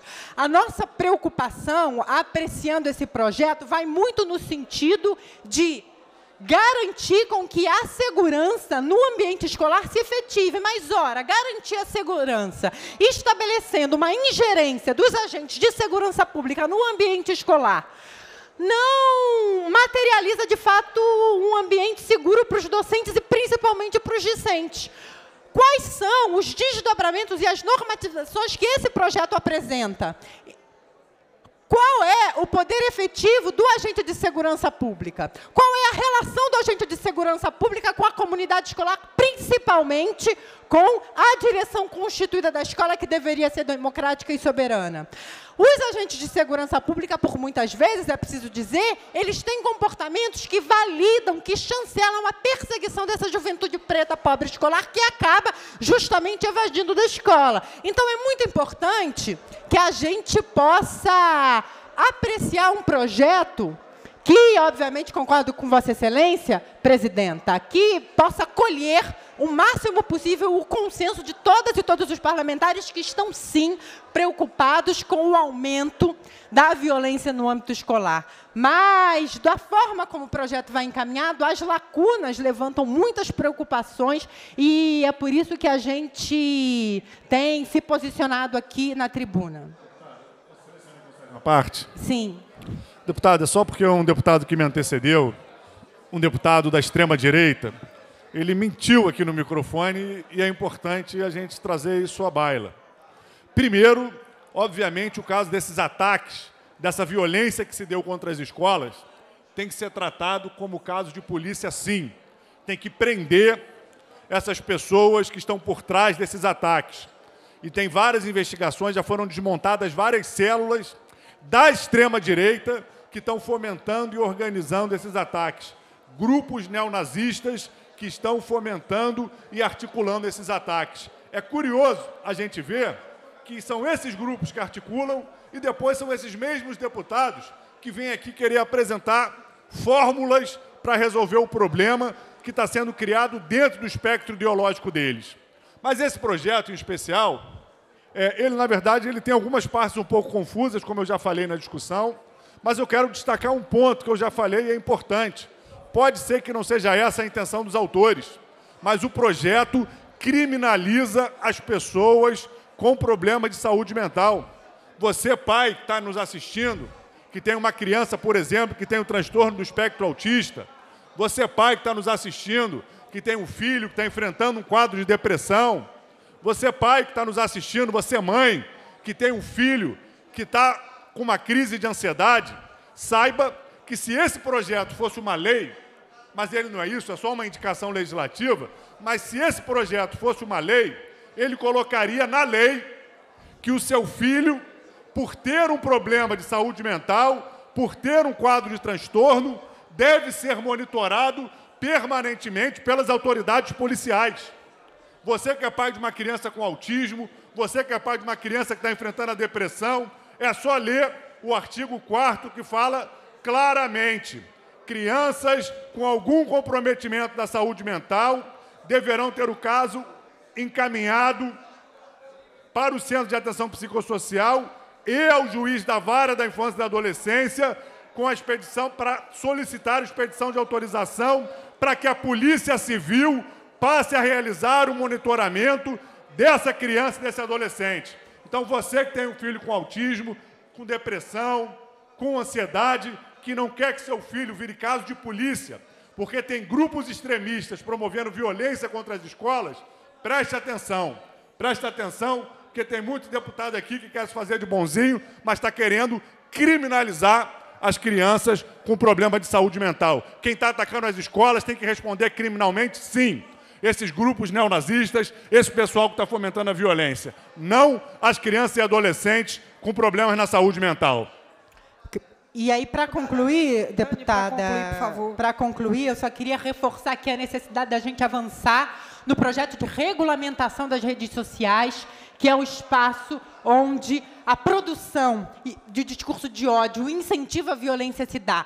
Não é possível a gente garantir um ambiente saudável nas escolas sem que a gente avance na regulamentação das redes sociais, para que nós possamos, inclusive, desmontar essas células neonazistas de extrema-direita que perseguem o contraditório, que não têm, inclusive, compromisso com a diversidade e que querem, ainda assim, a partir disso, produzir mais perseguição, mais violência. Muito obrigada, senhora presidenta. Próximo orador inscrito é o nobre deputado Anderson Moraes. A, deputado Luiz Paulo também está inscrito. Deputado Anderson. Boa tarde, senhora presidente, Tia Ju. Boa tarde aos demais colegas aqui da Assembleia Legislativa. Eu quero aqui, primeiro, parabenizar os deputados Alan Lopes, Rodrigo Amorim, Márcio Galberto, Índia Amelau, Felipe Pobel, Marcelo do Seu Dino, pela preocupação e pelo projeto aí, pela indicação legislativa é, hoje votado aqui nesse plenário. É, sabemos que o que vem acontecendo nas escolas, de fato, é um absurdo. É, aqui, quando a gente fala é, dessas atrocidades que estão acontecendo, sinceramente, nada, não tem nada escrito na lei perto daquilo que nós gostaríamos que acontecesse com o cidadão que ocasionalmente fizesse isso dentro das escolas, que é um absurdo. A gente tem história aqui de professora que, inclusive, perdeu a vida para salvar 25 alunos dentro da, da, da escola por conta dessas atrocidades. Por mim, zero dificuldade, um cara desse. Não... Por mim, ele pegava o, o, vamos dizer assim, ele ganhava uma viagem para Marte. Entendeu? Dá uma viagem para o cidadão para Marte, ou então, uma segunda, uma segunda coisa também, é a gente dar uma nova oportunidade para esse cidadão, nascer de novo. Sinceramente, isso é o que eu penso. Agora, nós queremos, nós queremos que tenha policiais no Maracanã, nós queremos que tenha policiais nas praças, nós queremos que tenha policiais nas rodovias, nas ruas, em todos os lugares. Agora, por que, que nós seremos contra nós colocarmos uma segurança na porta das escolas, gente? Não faz o menor sentido. Quer ajustar o texto, quer pensar de uma outra forma, mas Claro que nós vamos sempre defender os policiais na porta das escolas. Inclusive, nós temos aqui, eu tenho um projeto de lei aqui é, com o mesmo pensamento dessa indicação, que é, inclusive, a gente dar uma nova oportunidade para os deputados que. Para os deputados não, para os policiais que, porventura, é, já, já tenham reformado. A gente trazer de volta essa turma, já que, na maioria das vezes, se fala que o problema é de efetivo, então, ao invés de fazer concurso, que é importante fazer, não vamos fazer concurso para botar na porta das escolas, vamos aproveitar aqueles que acabaram de ir para casa, que estão prontos para poder atender os alunos. Isso aí é claro. Agora, a gente vê diversas reportagens né, de bandidos, de traficantes usando as escolas como bunker deles. Então, assim, a não ser que exista deputado aqui dentro dessa casa que esteja preocupado em atrapalhar o tráfico que usa as escolas como bunker mas eu não acredito que exista esse deputado aqui dentro dessa Assembleia. Agora, com relação ao transtorno, a falta de respeito que tem com relação a essas crianças, as crianças que têm alguma, porventura, alguma, alguma deficiência, essa falta de respeito ela vem da esquerda. O líder deles da esquerda, há muito pouco tempo atrás, disse que as crianças deficientes elas tinham um desequilíbrio de parafuso. Então é muito simples chegar aqui e querer imputar, querer culpar a gente daquilo que eles fazem, pô. A falta de respeito com os deficientes é deles. Entendeu? Então, absurdo. Mais uma vez aqui, eu quero parabenizar os autores dessa indicação e podem contar com o meu voto, sim, sem dúvida nenhuma. Tem que botar é o pessoal armado na porta das escolas, as pessoas que são gabaritadas para poder estarem armados ali, também não é qualquer um, entendeu? E vamos protegendo as suas crianças, pô. Para com isso, demagogia, Deixa para o governo Lula, pô. Deputado Luiz Paulo, próximo inscrito. Senhora presidente, eu entendo que numa indicação legislativa, senhora presidente, o que vale é a emenda, ponto. Porque o desenvolvimento da minuta, que, que como é chamada, do anteprojeto de lei, não tem absolutamente nenhum valor, porque a verdadeira mensagem será encaminhada pelo chefe do executivo, se ele assim o desejar. Mas os deputados, alguns fazem, para exatamente pautar as discussões. Né? Então, primeiro estou fazendo esse esclarecimento. Dito isso, senhora presidente, a emenda, sem análise de mérito dos mais diversos artigos, diz o seguinte: criação do programa Escola Segura. Para mim, me importa esse título, porque o dia que o governador mandar essa mensagem, ele vai desenvolver o projeto. E aí vamos discutir, vamos emendar, fazer audiências públicas, etc. O que não pode, senhora presidente, independente das concepções ideológicas, é acontecer os absurdos que estão acontecendo.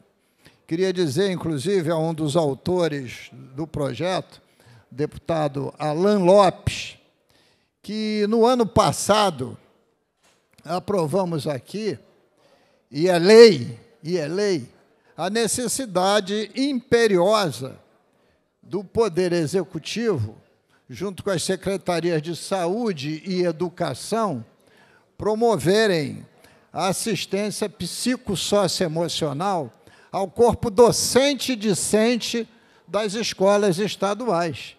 Porque com a pandemia, o desequilíbrio emocional atingiu mais de 10% de toda a demanda do corpo docente e discente. Isso é um dado de realidade. Estou chamando a atenção porque outro dia na audiência pública já saiu esse tema. Já existe lei. Né? Se um dos quesitos do, da mensagem que vier para casa, chamado Programa Escola Segura, for esse, esse quesito, por exemplo, terá meu pleno apoio. Por hora, eu fico com o título. Qualquer projeto que venha nesse sentido da casa deve discutir. E, evidentemente, aí será a hora devida de as discordâncias aflorarem, senhor presidente. Então, estou aqui justificando o meu voto porque quando voto emenda legislativa, eu voto na emenda e não no mérito do texto. Muito obrigado, senhor. Deputado Felipe Pobel, deputado Alain, Vossa Excelência já falou.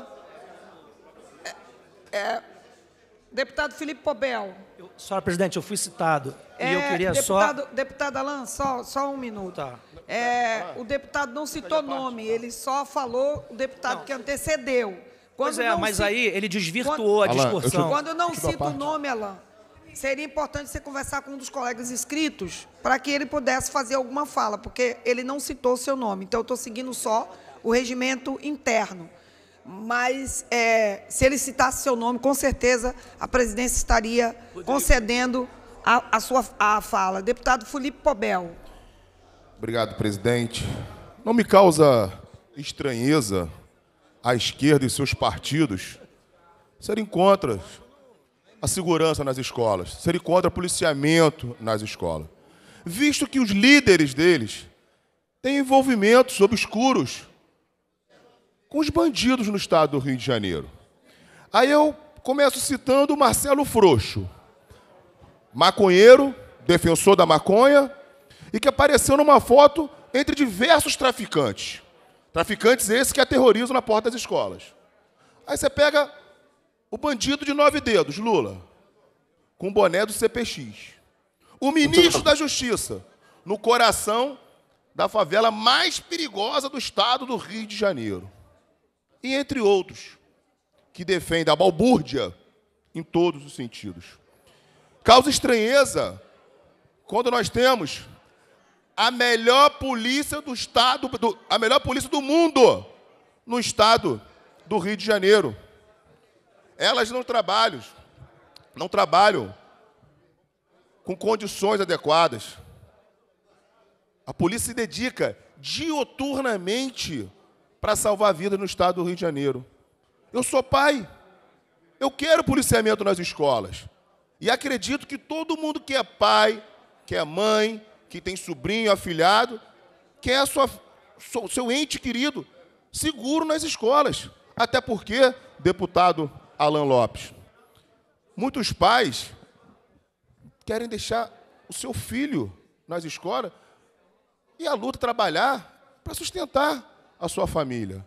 Imagina como é que fica a cabeça de um pai sabendo que o seu filho não está seguro. E aí, deputado, o intuito do projeto, presidente Jaju, é trazer segurança e acabar com o que vem acontecendo nas escolas. Diversas crianças estão com medo de ir para as escolas pelos diversos ataques que estão acontecendo, deputado. Permita a parte. Uma parte, deputado Paubel. A gente, quando vem discutir segurança, seja em qualquer âmbito, né, na escola, na saúde, em qualquer lugar, a gente sempre tem resistência por parte da esquerda. Por óbvio, eles tentam desvirtuar a discussão e trazem né, para esses argumentos, para esses subterfúgios de extrema-direita, né, é, grupos neonazistas, querendo associar isso ao eleitor do presidente Bolsonaro. A gente já sabe qual é a estratégia.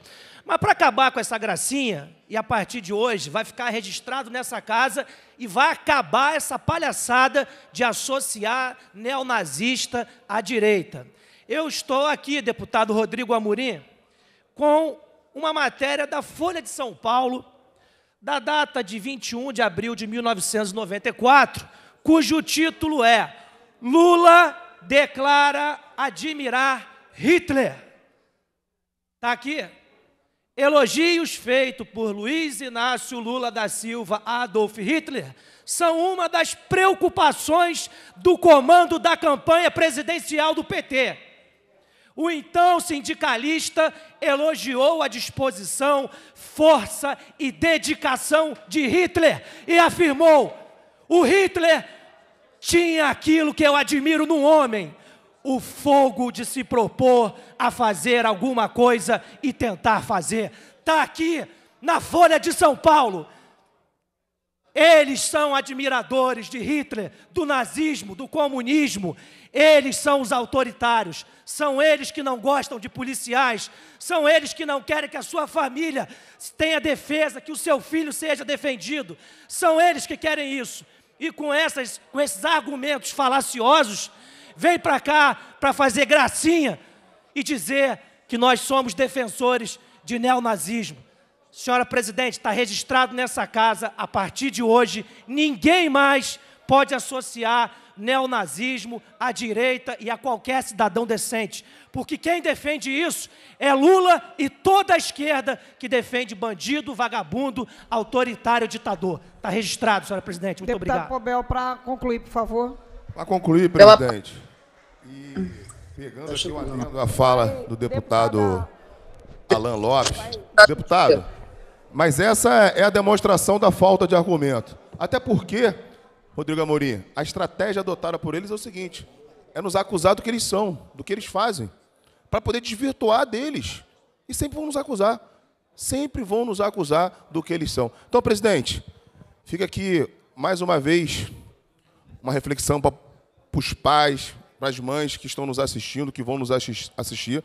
Só olhar, olhar quem é a favor da segurança nas escolas para os seus filhos, para os seus netos, para os seus sobrinhos, para os seus afilhados, e essa turma da esquerda que é contra a polícia. Polícia é essa que tem que estar presente em todos os cantos do estado do Rio de Janeiro, porque além da sensação de segurança, ela passa com certeza para a população né, o, o direito de ir e vir garantido pela Constituição. Muito obrigado, presidente.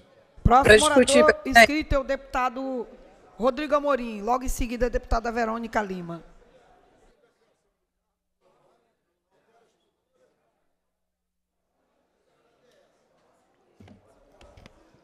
Senhora presidente, senhores deputados, senhoras deputadas, quero saudar todos aqueles que nos assistem pela TV Alerges, não sem antes aqui parabenizar o mandato e a brilhante atuação do deputado Alan Lopes.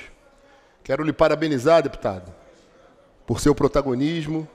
Quero lhe agradecer por, por ser um deputado desprovido de vaidade e permitir que outros colegas que comunguem da mesma pauta possam assinar os projetos como coautor, projetos que são fundamentais para a nossa sociedade, justamente no momento, e essa é a grande astúcia do deputado, é apresentar as suas proposições legislativas em tempo real ao clamor da sociedade. A gente acompanhou, e não é um fenômeno do Brasil, isso que vem acontecendo nas escolas é um fenômeno que acontece em países subdesenvolvidos, acontece em países desenvolvidos, porque faz parte de uma deturpação de caráter, faz parte da essência, muitas vezes maléfica, que os seres humanos têm. Óbvio que quando a gente está num país, deputado Galberto, que tem o fator da impunidade, é evidente que esse tipo de evento acaba acontecendo, deputado Otônio. Acaba se asseverando. Então, esse meu primeiro momento da fala é para parabenizar Vossa Excelência, não só pela fidelidade com a pauta, pelo brilhante trabalho que está fazendo à frente da Comissão de Educação dessa casa. Durante muito tempo aparelhada, tal qual a Comissão de Direitos Humanos, a gente sabe exatamente a história dessa comissão na casa, deputado Gualberto. Uma parte do deputado Gualberto. Me permite uma parte, é, deputado Rodrigo Amorim. O que me causa estranheza, eu estava vindo para cá e pude ouvir a fala de um deputado de esquerda fazendo acusações absolutamente infundadas. Eles vivem de narrativas, narrativas falsas. Mas eu gostaria de dizer que o que produz esse tipo de maníaco também, esse tipo de criminoso que depois vai atentar contra as nossas famílias, contra as nossas crianças, contra os nossos jovens, não é a defesa de uma indicação legislativa como esta. Que vai produzir esses fascínoras é quando alguém juntamente com seu grupo, defende o fim da polícia militar, defi, defende a impunidade, trata criminoso como vítima de uma sociedade burguesa, branca e capitalista. Fala que o roubo de um celular é para tomar uma cervejinha. incentiva a hipersexualização das nossas crianças, a destruição das nossas famílias, o bonde do CPX, a corrupção desenfreada, são justamente o desencarceramento de presos, o aborto. Então, que é o assassinato de um ser inocente no ventre materno. Quem defende isso, defende, vai brigar por qual direito humano, não é verdade? Então, isso tudo, e já caminhando para o fim, Rodrigo, isso tudo contribui para que um indivíduo olhe para esse contexto caótico e diga: se pode isso, porque eu não posso também fazer o que me apraz, ainda que seja cometer um crime bárbaro. Quem ajuda a implodir valores morais, princípios, virtudes, está colaborando diretamente para o surgimento de novos criminosos no país. Nós não colaboramos com isso. Ao contrário, com essa indicação legislativa, nós queremos frear isso também. Não é pauta dos conservadores passar a mão na cabeça de criminosos. Não é. Pelo contrário, a gente quer o rigor da lei. O rigor da lei. Nós não queremos saidinhas, nós não queremos progressão de pena. A gente quer que o preso pague pelo seu crime, de acordo com as leis vigentes em nosso país, sem moleza, sem refrigério, porque não deram isso para suas vítimas.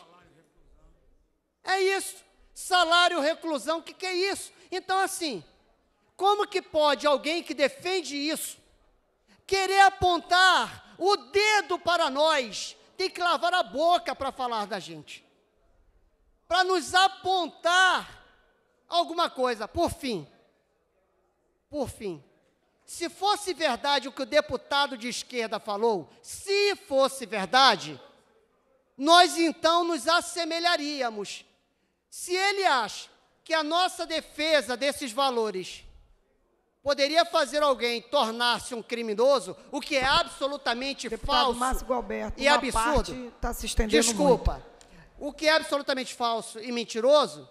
Então, quando eles defendem essas pautas, aí sim verdadeiras, e aí sim com consequências nefastas para a sociedade, eles sim estariam defendendo esse tipo de bandido que eles fingem criticar. Muito obrigado. Deputado Gilberto, faço minhas. Para concluir, deputado As Rodrigo. suas palavras, deputado Gilberto. Eu não vou me estender, senhora presidente.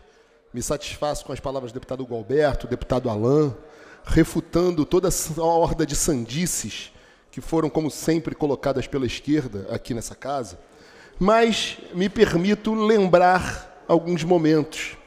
Essa ojeriza polícia, essa ojeriza as forças de segurança, ela é exemplificada com o líder deles. O deputado Marcelo Freixo, ele tinha uma milícia, miliciano, porque a definição de milícia é aquele que tem um braço armado em seu favor. O deputado Marcelo Freixo tinha um braço armado de policiais penais, de policiais da Força de Segurança desse Estado, cedidos clandestinamente, portanto, um aparato armado clandestinamente, ele constitui uma milícia que, utilizando armas de guerra, fazia sua segurança. Ora, a hipocrisia deles, que tem a incongruência até no nome do partido que defende o socialismo e a liberdade, ela se reflete quando alguém que se diz desarmamentista tem uma milícia fortemente armada com armas de guerra a seu dispor. O cidadão de bem tem isso? Ora, o que, que esse deputado, à época, fez de diferente que lhe permitisse gozar de uma milícia? A gente tem aqui nessa casa a deputada Marta Rocha, ex-chefe de Polícia Civil, uma carreira, uma trajetória como policial que prendeu muito vagabundo ao longo da sua trajetória, sob o seu comando. Prendeu miliciano, prendeu traficante. Foi vítima, e me recordo que nos primeiros momentos uma, da legislatura anterior, a deputada Marta Rocha foi vítima de um atentado, lá na Penha. E ela não dispunha de uma milícia ao seu serviço. Existe ou existia alguma deputada mais exposta que a deputada Marta Rocha? Mas a criação das narrativas deles, a tentativa de serem detentores dos monopólios das virtudes é sempre deles, presidente. Então concluo dizendo que todo projeto nessa casa que fale sobre arma nas mãos de cidadãos de bem, que fale sobre polícia, eles têm ojeriza a polícia, querem desmilitarizar a polícia, foram contrários a um projeto, salvo engano, do deputado Anderson Moraes, que visava levar a UERJ, que se transformou numa cracolândia, e eu tive lá e vi consumo de droga desenfreado, mas são eles que defendem o consumo controlado de crack.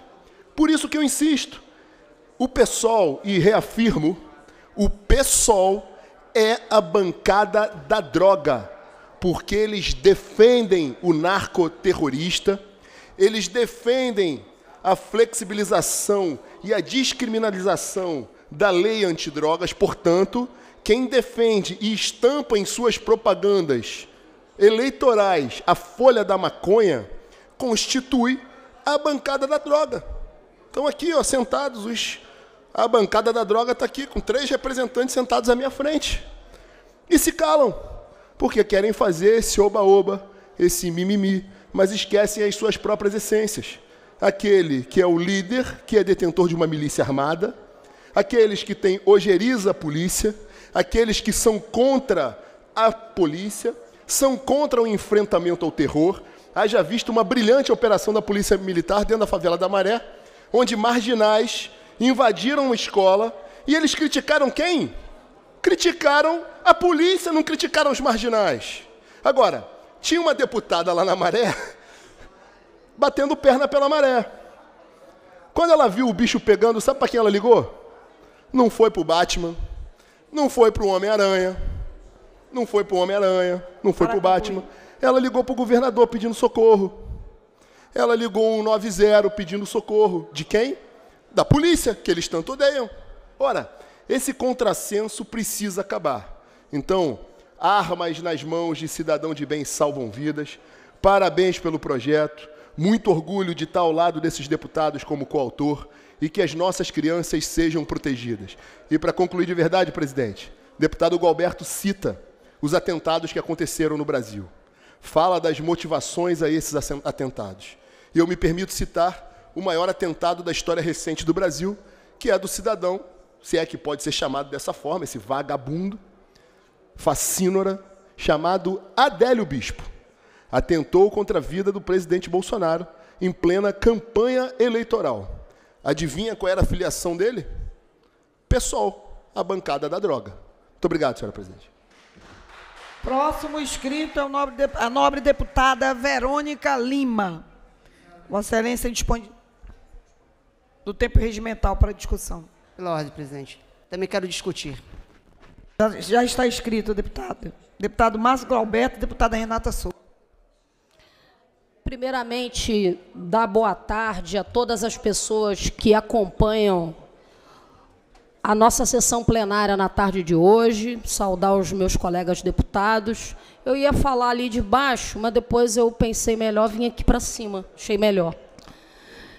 Na verdade, para discutir um pouco sobre essa iniciativa parlamentar aqui na tarde de hoje, a gente percebeu alguns deputados e deputadas, evidentemente, preocupados com a crescente violência nas escolas do Estado do Rio de Janeiro e do Brasil, tomando iniciativas parlamentares muito importantes para a gente combater a violência dentro das nossas escolas. Né?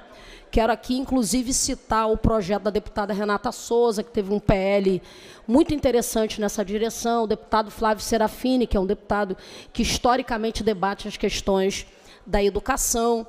E, evidentemente, que a gente precisa também é, dizer que combater violência nas escolas, a gente combateu o que aconteceu no estado do Rio de Janeiro algumas semanas atrás, onde um caveirão estava fazendo troca de tiros na porta de uma escola. Isso também é combater violência dentro das escolas. Tem uma tentativa desleal, é desleal, de dizer que as pessoas do campo da esquerda não gostam do trabalho da polícia. Eu acho e gostaria de viver numa sociedade melhor, numa sociedade onde nós pudéssemos superar as contradições e não precisar de polícia. Mas, infelizmente, essa não é a realidade. Nós vivemos numa sociedade desigual e, infelizmente, fruto dessa desigualdade, a gente precisa ter forças de segurança. Mas ter forças de segurança e ter polícia não quer dizer que a gente queira bang bang no meio da rua, sobretudo nas comunidades empobrecidas, porque infelizmente a gente sabe a realidade. O tratamento que, na maioria das vezes, as forças de segurança têm no território periférico não é o comportamento que ela tem dentro da periferia não tem o mesmo tipo de comportamento. E é isso que, por, por vezes, os parlamentares da esquerda questionam. A polícia, quando ela quer e quando a gente faz investimentos, ela consegue fazer um bom trabalho. Trabalho de investigação, trabalho de inteligência, trabalho investigativo. Como foi feito pelo governo federal através do Ministério da Justiça, que desarticulou dois adolescentes que queriam promoveu um ataque numa escola do estado do Rio de Janeiro. de maneira eficiente e inteligente. O governo federal anunciou agora no mês de abril 3,1 bilhões de reais para ser investidos diretamente na segurança das escolas no Brasil inteiro. Isso é política de segurança eficiente para as nossas crianças e para os nossos adolescentes, porque tem que respeitar o plano de educação, tem que respeitar as conferências, tem que respeitar a comunidade pedagógica. É, isso não pode ser feito a esmo, isso tem que ser feito dialogando com a sociedade civil organizada e com os pensadores da educação, com os profissionais de educação. Por isso que o governo do presidente Lula está colocando 3,1 bilhões para tratar da insegurança das nossas crianças e dos nossos adolescentes no Brasil inteiro e também no estado do Rio de Janeiro. Eu, evidentemente, gostei do que o Lira fez lá no Congresso Nacional, de dizer que agora ele vai fazer uma contenção à baixaria, porque nos últimos anos nesse país, parece que abriu o esgoto da política, e não é fácil. Porque o debate, que tem que ser um debate de concepção, um debate de modelo de Estado, um debate sobre modelo de segurança pública, porque é normal. Tem gente que acha que segurança pública é bang, bang, bang. E tem gente que acha que segurança pública é investir em plano de cargo, carreiras e salários dos profissionais de segurança pública, é ter uma polícia que tem uma corregedoria forte para punir aqueles que fazem mal feito, que é investir em polícia investigativa, polícia de proximidade. Então tem gente que pensa assim, isso é uma concepção de segurança pública. Isso não é ser contra a polícia. Eu, eu não sou, nunca fui nem nunca serei. Faz parte do aparelho de Estado necessário. E não pode haver distorções de dizer que quem é de esquerda é contra a polícia. Eu não sou contra a polícia.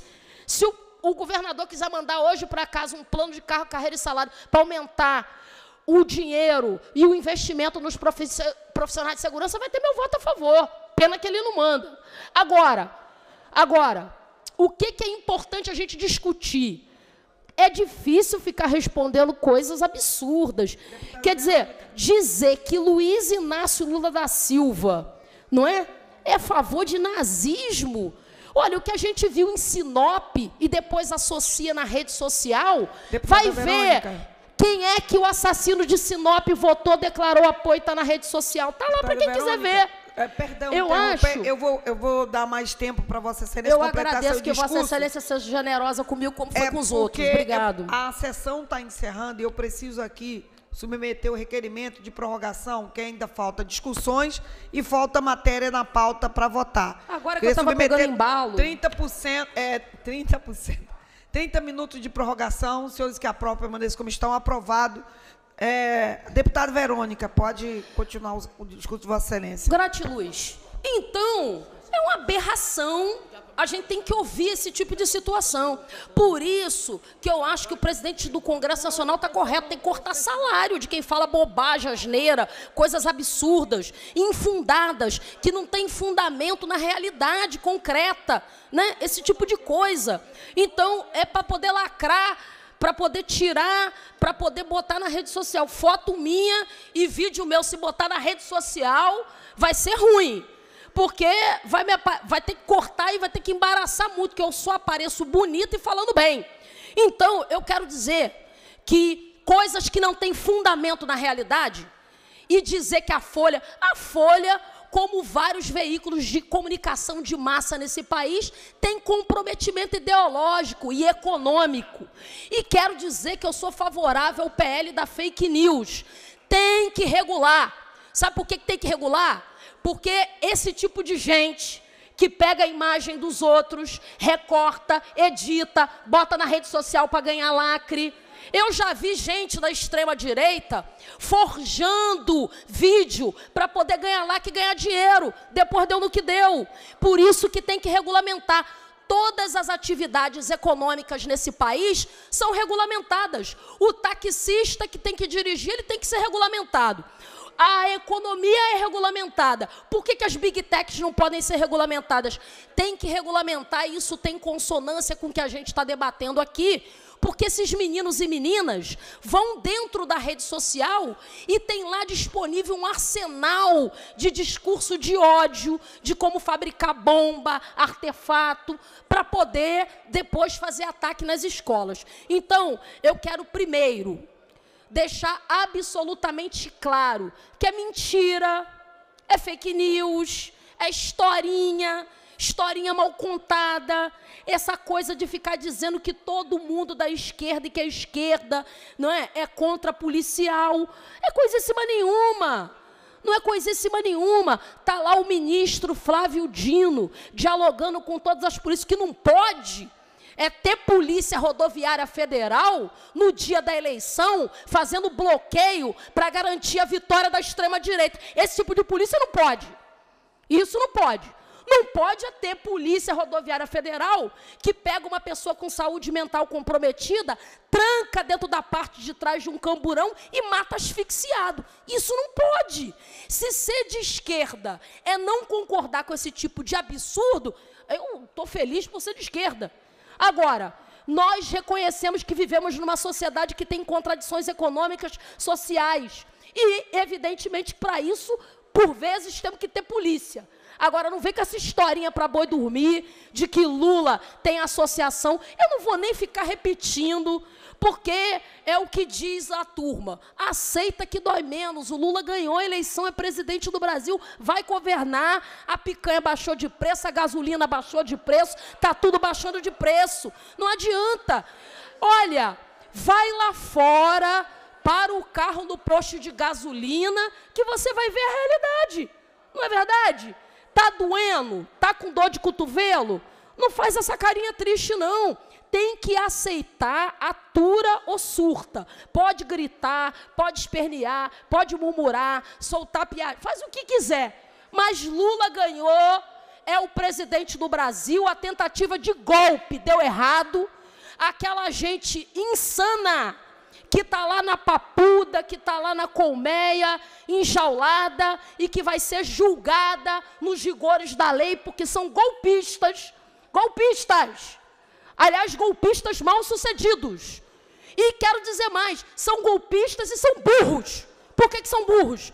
Porque produziram provas contra si mesmos. Eles são tão ignorantes que eles ficaram filmando a baderna que eles estavam fazendo destruindo a Praça dos Três Poderes, dilapidando o patrimônio do povo, acabando com tudo, e produziram provas contra si mesmo. Então, por, por hora, viva a iniciativa do governo federal, que está aportando recurso para combater a violência nas escolas. E toda e qualquer iniciativa que venha nessa direção, certamente, vai contar com o nosso apoio. Assim como também deixar claro, não somos contra a polícia, queremos que a polícia trate o cidadão, seja ele de que território e de que cor, de que raça seja, da mesma forma. Obrigado. Próximo orador inscrito é o deputado Márcio Gualberto.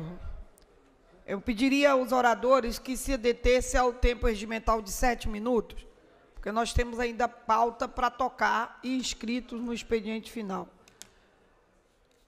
Próxima oradora, deputada é Renata, para discutir, deputada Renata Souza.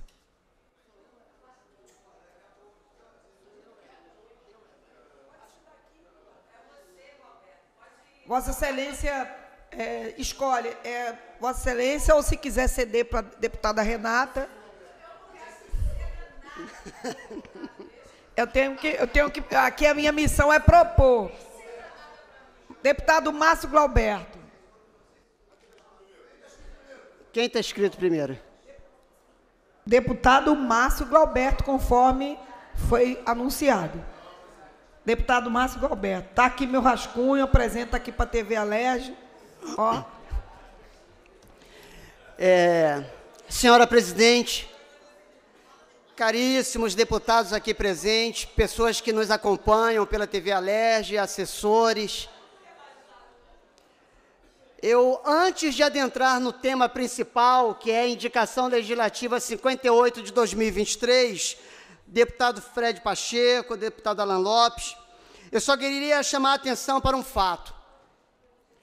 A deputada que me antecedeu, ela disse que os presos que estão lá na colmeia, os presos que estão lá por causa do que aconteceu no dia 8, eles estão sendo bem tratados.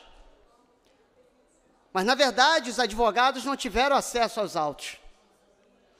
A gente sabe que alguns direitos humanos estão sendo desrespeitados. Ao mesmo tempo, são essas pessoas que dizem defender os direitos humanos, o devido processo legal, mas que estão aplaudindo aqui, neste local, que é uma área de ampla democracia, de livre pensamento e também de livre expressão, aqui, infelizmente, nós vimos parlamentares defendendo o que está acontecendo com essas pessoas que estão presas. Bem, que fique registrado isso, porque de agora em diante, quando falar em direitos humanos, principalmente direitos humanos de presos, eu vou chamar a atenção para este fato. Pois bem, o que nós estamos discutindo aqui é uma indicação legislativa que tem por finalidade a defesa das famílias, as defesas das crianças, as defesas dos jovens. Alguém aqui duvida que um homem armado, um homem mal armado, só possa ser parado por um homem de bem armado? Alguém duvida disso? Deputado Pastor Otone, o senhor duvida, por acaso, o senhor que tem bom senso, que um homem mal armado só pode ser parado não pela força do pensamento, mas por outro homem bom, de bem e também armado? Quantas tragédias foram, foram interrompidas porque tinha alguém de bem armado naquele momento, bem treinado, mas as nossas propostas, elas vão muito além disto. Chamar a atenção apenas para este conteúdo seria apequenar o debate, seria tirar de foco o núcleo central da indicação legislativa que ora estamos apresentando para que possa ser avaliada por nossos pares, deputado Alan Lopes. Desculpa, eu te pedir uma parte. Claro, concedido. Só para citar aqui, um grande defensor da esquerda, o São Ciro Gomes. Eu acho que todo mundo deveria ouvir o que o Ciro Gomes disse essa semana. Olha só que legal. Deixa eu dar um dado para vocês, mas vou falar baixinho para ninguém ouvir. O desmatamento da Amazônia cresceu 14% nesse trimestre em relação ao mesmo período do ano passado do Bolsonaro.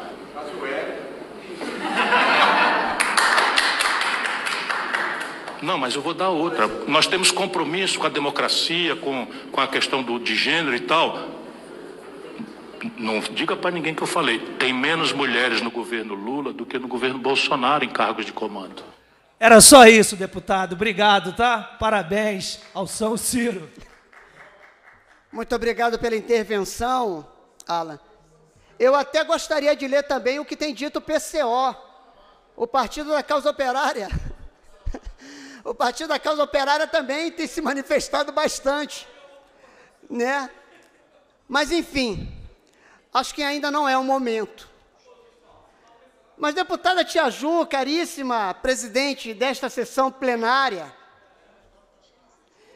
o que nós estamos criando é um mecanismo que permitirá que seus pais, e eu sou pai, que nós possamos encaminhar deputado Iori, os nossos filhos para as escolas de maneira segura.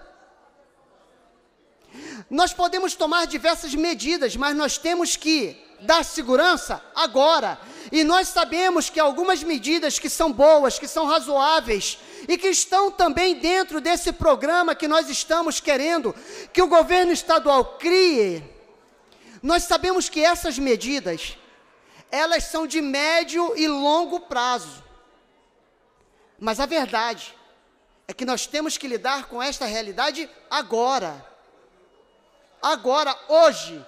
Hoje nós temos que interromper qualquer tentativa, iniciativa que possa ir ou pensar em fazer mal a um dos nossos filhos.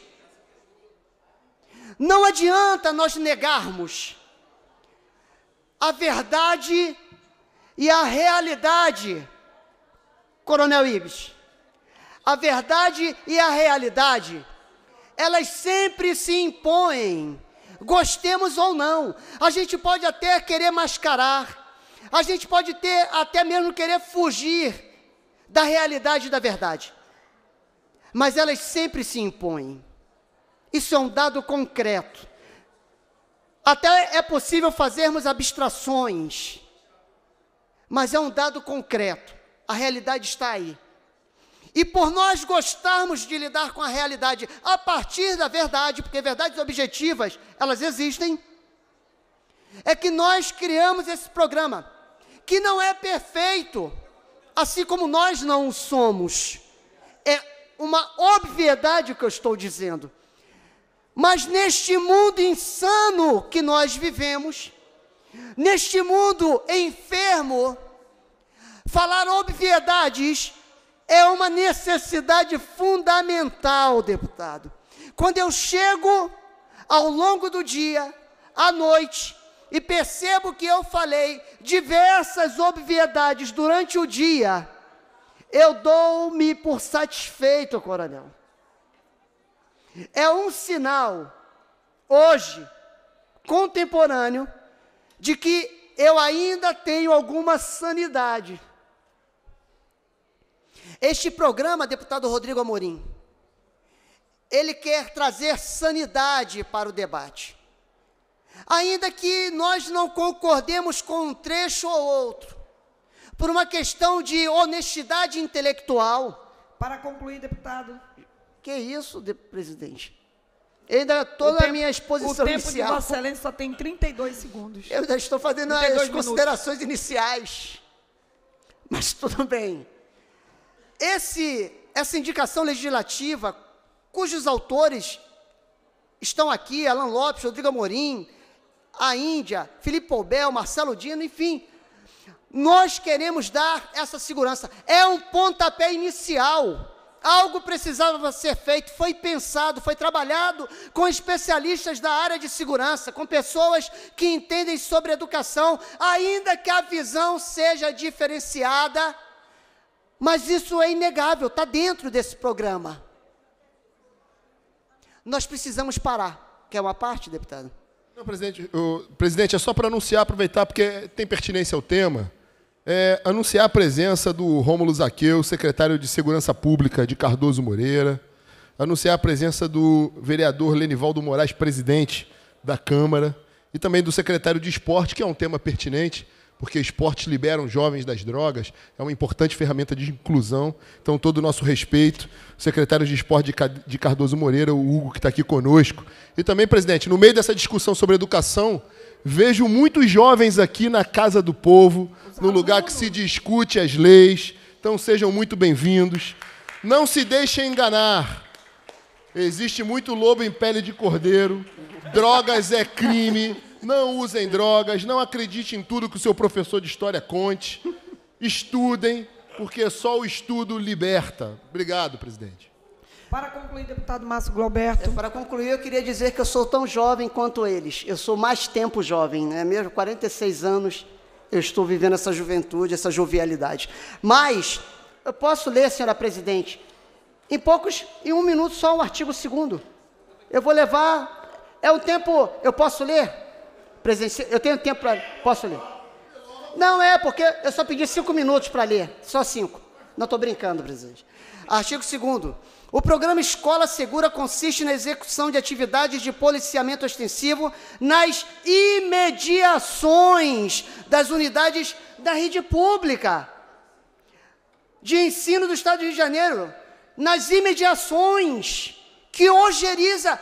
Bom, quem não tem ojeriza a polícia, é claro que vai ficar feliz que a polícia esteja nas imediações, a não ser que a pessoa não saiba o que significa imediação. Aí tudo bem, eu compreendo. Ela parte de uma premissa falsa, a conclusão será falsa, deputado. Se eu parto de uma premissa falsa, minha conclusão será também ela falsa. Mas continuando.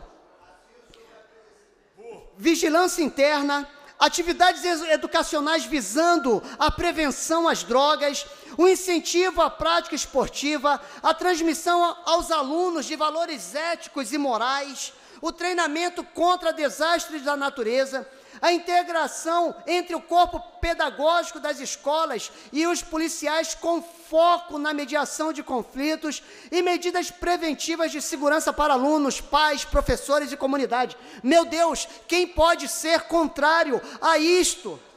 Que se apresente agora o cálice para sempre, não é mesmo, deputado?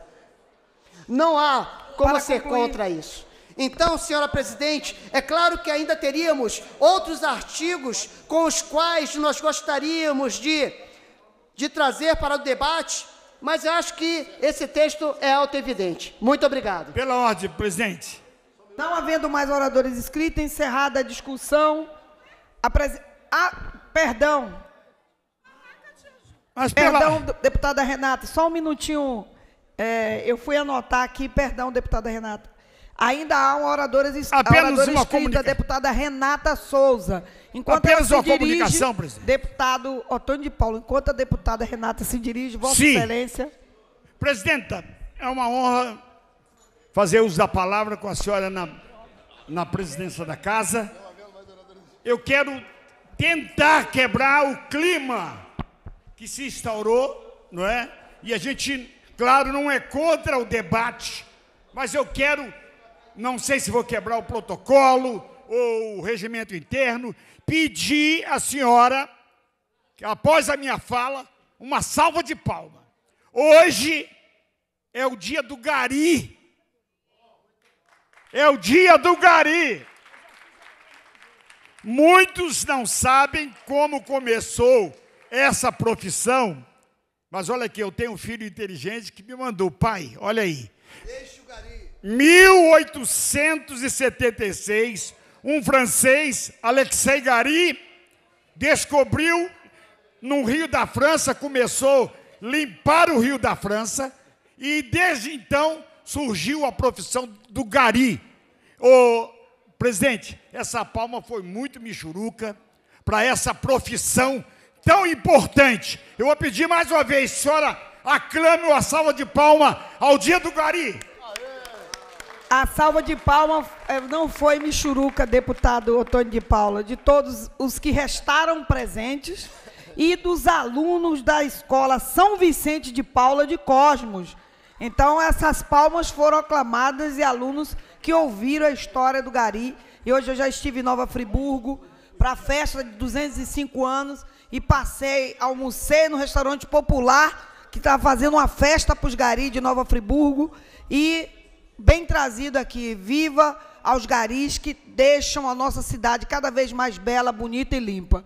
E os alunos da Escola São Vicente, trazidos aí, convidados pela deputada Marida no MST, sejam muito bem-vindos, tá? Amem sempre os garis, abraço os garis e muito obrigada. Deputada Renata Souza, só lembrando a todos que nós só temos mais 10 minutos para concluir a pauta e encerrar a sessão. Obrigada, deputada Renata. Muito obrigada, deputada Tia Ju. Sempre um prazer vê-la presidindo os trabalhos. Quero aqui cumprimentar os alunos do colégio.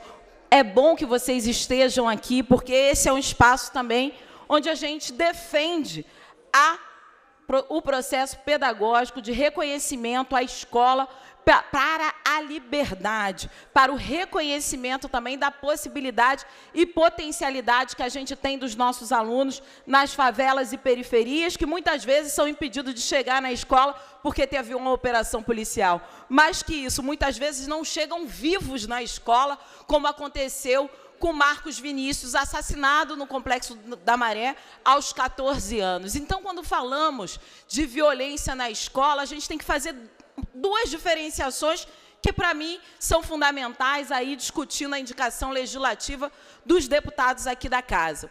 Uma coisa é você falar de segurança na escola de um ponto de vista policialesco, de colocar mais armas perto das crianças, perto, perto dos adolescentes. A outra coisa é você discutir segurança na escola a partir de processos de cultura de paz, de pedagogia que enfrente a realidade da violência que temos não só dentro da escola, mas ao redor da escola, de maneira concreta, de maneira responsável, de maneira a olhar, por exemplo, aquele professor, aquele diretor, aquela merendeira na escola como uma comunidade escolar que podem sim apresentar soluções importantes para os desafios colocados cotidianamente. E aqui a gente precisa lembrar, a gente teve dois anos enfurnados aí num abismo é, com a Covid-19 desafiando a nossa população. Foram dois anos que a gente não teve as aulas regulares e que esses alunos estão retomando a um cotidiano de sala de aula que é desafiador. Desafiador porque quando a gente está aqui defendendo uma cultura de paz, tem gente que vai defender uma cultura de morte, de ódio, de combate ao outro, e não da, o, a, a cultura da tolerância, do reconhecimento, da responsabilidade, do reconhecimento também da potencialidade na escola, na sua estrutura. E aí, senhora presidenta, eu espero que possamos também fazer aqui o debate sobre o projeto de lei que eu apresentei também tratando disso, que cria o programa de enfrentamento à violência contra a escola a ser instituído pelo governo do Estado. Nesse programa, senhora presidenta, nós trazemos esse conceito de cultura de paz. Por que isso? Porque entendemos que a lógica de superação da violência, ela só vai vir a partir do reconhecimento que essa violência, combatida com mais violência, não trará resultados concretos para a nossa sociedade.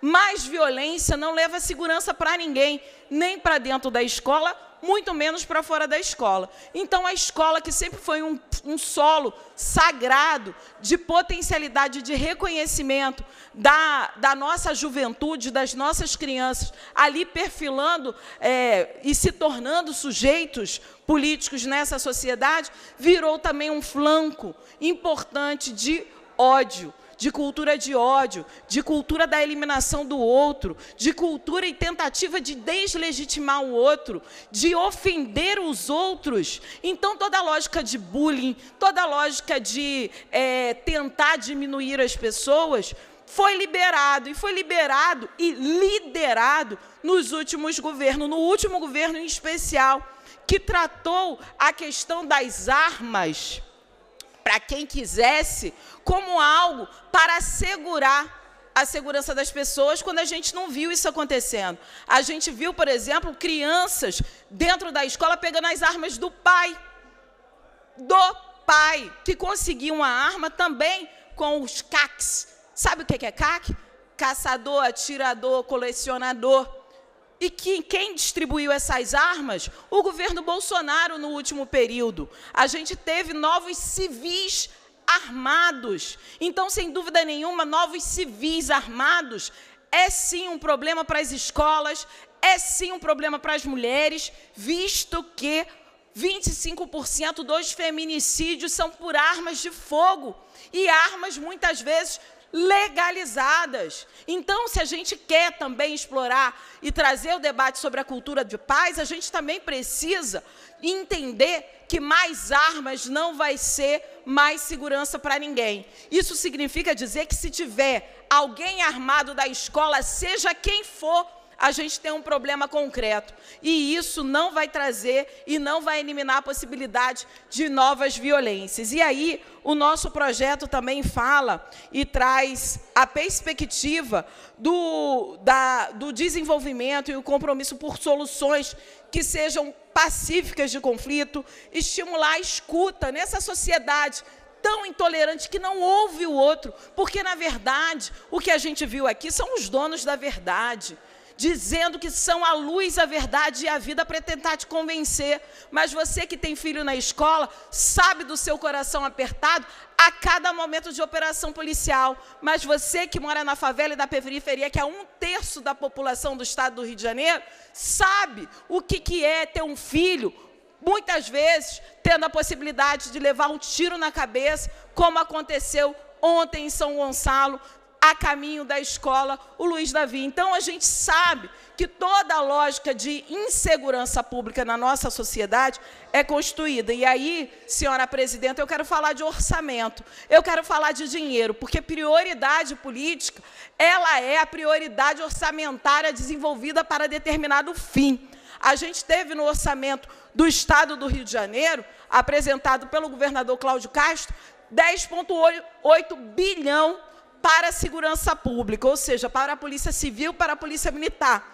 80% desses recursos são para pagamento de pessoal. Os, os, os 20% que restam são para a compra de novos equipamentos. Não são, como a gente viu e, e discutimos aqui no, no último ano, orçamento que privilegiam a inteligência, a informação, a estratégia e a tática para evitar que tiroteios ocorram perto das escolas e que inviabilizam o entorno da escola, como aconteceu com Maria Eduarda, dentro de um CIEP em Acari, que levou quatro tiros, comprovadamente dado pela polícia. Foi a investigação que mostrou isso. Maria Eduarda foi morta com quatro tiros na quadra de esporte num CIEP na favela de Acari. É disso que a gente está falando aqui. Não tem possibilidade da gente não ter uma polícia que seja assim, reconhecida nos seus benefícios, para, para concluir, que seja, pois não, senhora presidente, que seja reconduzida também na GRAM, porque quem estava defendendo aqui as viúvas dos policiais éramos nós, inclusive apresentando indicação legislativa para que o governador pague essas viúvas, porque está querendo também inviabilizar a vida dessas mulheres que tiveram seus companheiros assassinados e que hoje é o governador do estado que diz que a polícia é herói quando atira. Mas quando morre, esse policial deixou de ser herói e a sua família vai viver na miséria porque o governador não quer pagar a grana. É sobre isso que a gente está falando. Então, eu concedo a parte ao deputado Yuri, por de, favor, muito breve. É, Renata, não questão dá tempo mais, porque o tempo, questão de ordem, o tempo esgotou. Eu vou cantar Uma questão de ordem. o projeto e deixo Vossa Excelência fazer um pela ordem no final, porque realmente o tempo esgotou e a gente tem um tempo regimental. O tempo da Vossa Excelência, deputada Renata. É, mas esgotou. se a senhora pudesse conduzir um pouquinho mais de tempo, eu Aí, Questão de ordem. Eu tenho que aprovar pois não. a prorrogação. Eu preciso aprovar É. a prorrogação. Eu peço. É, eu gostaria Tia de Ju. submeter.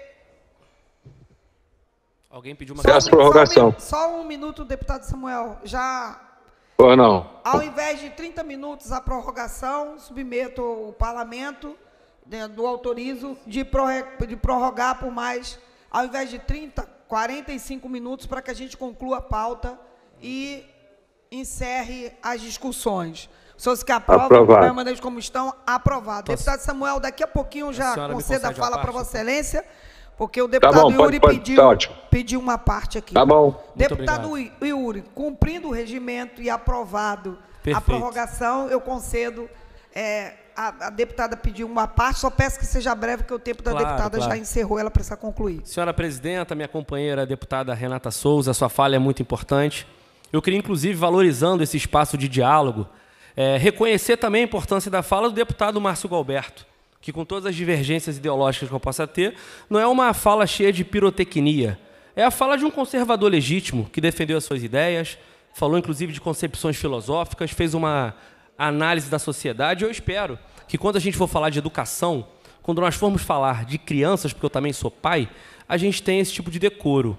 E ao invés de falar de arma, de violência, de atacar a esquerda, de falar do pessoal do PT, a gente ouvir um pouco de projeto político pedagógico, de comunidades escolares, de direitos dos professores, que nós no estado do Rio de Janeiro hoje não temos nem o nosso piso garantido, de direito dos profissionais de educação, como a minha mãe, que era merendeira e hoje é inspetora numa escola municipal, como a minha tia que faleceu, que ficou 45 anos dedicando a vida dela na rede municipal e na rede estadual, como professora, orientadora, diretora adjunta, diretora geral. Eu quero ouvir para os nossos estudantes que estavam aqui até agora há pouco, qual é o tipo de projeto educacional que envolve esporte e cultura e que ajuda também na prevenção da violência. Então, para debater o texto como ele chegou, e o texto tem boas partes, mesmo sendo um texto apresentado pela bancada da direita, eu quero só lembrar que quem defendeu o fortalecimento das rondas escolares, nesse momento de ataque às escolas, foi o ministro Flávio Dino, que é filiado ao PSB. Foi ele que chegou e falou: vou mandar dinheiro para os municípios e para os estados para ter o policiamento, tanto com a Polícia Militar quanto com a Guarda Civil. Então a esquerda não foi contra isso. Em nenhum momento nós tiramos a importância da polícia no processo de investigação. Inclusive, deputada, como a senhora colocou bem, o Ministério da Justiça, e foi reforçado pela fala da deputada Verônica, desarticulou a rede de maldade. Rápido, porque trabalhou com inteligência, confiou na Polícia Federal, confiou nas polícias civis. Então, em que lugar a esquerda não defendeu a polícia nesse processo? Não consegui perceber. Mas agora, eu reforço que o nosso companheiro também, professor, Flávio Serafini disse: o artigo 4 é inadmissível. Ah, é uma indicação legislativa, o governador vai apreciar, não importa. Esse parlamento, quando vota qualquer matéria, indicação simples ou legislativa, ele fala qual é o seu posicionamento, ou pelo menos da maioria, sobre um assunto. E não dá para a gente aceitar que uma criança, que segundo o texto diz o seguinte, comprometimento da saúde mental, ou um adolescente, seja encaminhado para a vara da infância com vistas a Polícia Civil. Isso quer dizer, então, que tiver uma criança que a gente está diagnosticando o transtorno do espectro autista, de acordo com o texto, a gente vai ter que pedir para a polícia investigar a rede social dela? Para concluir, deputado. Uma mãe e um pai que já estão tendo ali uma mudança na sua vida de cuidar de uma criança com TEA, vai ter que se preocupar com a possibilidade da Polícia Civil investigar a rede social de uma criança com autismo, uma criança em depressão, que precisa do apoio do que nós sempre defendemos, psicólogos e assistentes sociais. Inclusive o texto cita isso, por isso que eu falei que o texto é bom também em algumas partes. Simplesmente vai ter o seu Facebook, seu Instagram olhado pelas forças de segurança que tem outro trabalho para fazer porque ela está depressiva. E aí eu encerro mesmo, minha companheira Renata Souza, lembrando que nenhuma violência nasce de dentro da escola infelizmente reproduzem a violência da sociedade e aqueles que defendem uma cultura armamentista, aqueles que defendem um, uma sociedade resolvida no conflito e na bala, contribuem para que os muros e as portas pedagógicas das escolas fiquem escancarados e sejam transpostas por esse tipo de prática violenta na sociedade. Então, parabéns pela fala e que a gente possa resolver esse problema. E nós não vamos resolver fazendo pirotecnia com um discurso sério, em respeito aos nossos filhos. Exatamente. Deputada Renata, para concluir. Concluindo, senhora presidenta, não, só para dizer que nós, da esquerda, comprometida com a educação, com o processo pedagógico, defendemos uma cultura de paz. Defendemos a escola com a potencialidade dos nossos alunos, pagamento dos nossos professores, para que os nossos professores também sejam reconhecidos na sua dignidade humana, que a gente possa ter essa escola que garanta espaços de debate também com os pais e mães e responsáveis pelos alunos, a gente defende a escola dessa maneira. E não numa lógica perseguidora de alunos, não numa lógica que vai colocar mais armas dentro da escola, ao invés de proteger, a gente vai estar gerando situações conflituosas, perseguições ainda até pela polícia de alunos. Então, a gente precisa pensar numa cultura de paz. E nós temos um projeto e queremos que esse projeto seja apreciado também por essa casa. E aí, senhora presidenta, discutida aqui o conteúdo, porque nós temos conteúdo para apresentar, ao invés de ficar aí numa, numa lógica direita esquerda, mas eu só queria lembrar, porque aqui foram feitas graves, graves tentativas de desabonar à esquerda, em especial o PSOL, inclusive chamando o PSOL como partido da droga. Mas foram 39 quilos de cocaína que foram encontrados na comitiva do presidente Bolsonaro em 2019. Concluir, Mas a gente precisa lembrar, não, senhora presidenta, concluindo exatamente, a gente precisa lembrar que o deputado aqui que me antecedeu, que gosta de vociferar, que gosta de se mostrar a pessoa mediadora, mas que de mediador não tem nada. Esse cara, o partido dele, o presidente do partido dele está preso porque atirou de fuzil em cima da Polícia Federal, jogou bomba na Polícia Federal. Então, olha quem é criminoso. Olha para o presidente do seu partido, quebrador de placa de Marielle. Muito obrigada, presidente. Não havendo mais quem queira discutir, encerrada a discussão, a presente proposta recebeu 11 emendas e retorna às comissões. Anuncio, em tramitação ordinária, em votação em segunda discussão, redação do vencido, assim emendada. Projeto de lei número 4981A de 2021, do deputado Samuel Malafaia, que cria o programa estadual Craque na Escola, Craque no Esporte, no âmbito do Estado do Rio de Janeiro, pendente de parecer das comissões de Constituição, Justiça, Educação, Esporte e Lazer, Assuntos de Criança e Adolescente da Pessoa Idosa, Orçamento, Finanças, Fiscalização Financeira e Controle. As emendas de plenário. Para emitir parecer pela Comissão de Constituição e Justiça, deputado Rodrigo Amorim. Senhora presidente, é favorável às emendas. Parecer é favorável às emendas números 5 e 6, favorável com subemenda às emendas 2, 4, 7 e 8 contrário às demais emendas, concluindo por substitutivo. A, a presidência defere o pedido de Vossa Excelência. Pela Comissão de Educação, deputado Alain Lopes. Favorável às emendas número 1, 2, 4 e 6. Favorável com subemenda à emenda número 3 e contrário às emendas número 5, 7 e 8. Pela Comissão de Esporte e Lazer, deputado é, Carlinhos BNH. Deputada Índia Armelau. A Índia estava aqui, está aqui. Senhora presidente. Online. O presidente Carlinhos do BNH pediu para representar que eu sou membro efetivo. E a comissão é contrária à emenda 1, favorável às demais emendas. Comissão do Esporte, tá? Pela Comissão de Assuntos da Criança, Adolescente e Idoso, o deputado Munir Neto.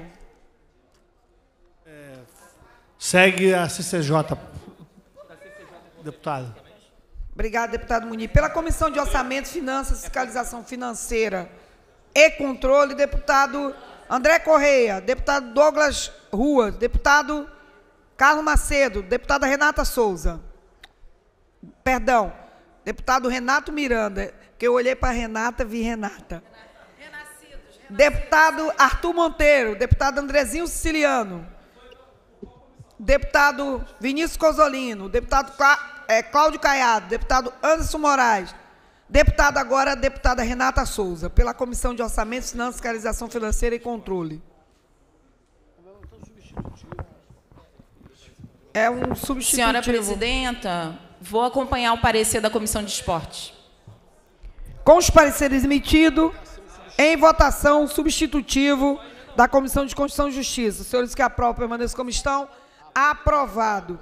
Vai a autógrafo. Deputado obrigado, colega. Samuel obrigado. Malafaia. Muito obrigado, colegas. Obrigado, boa deputado. Noite.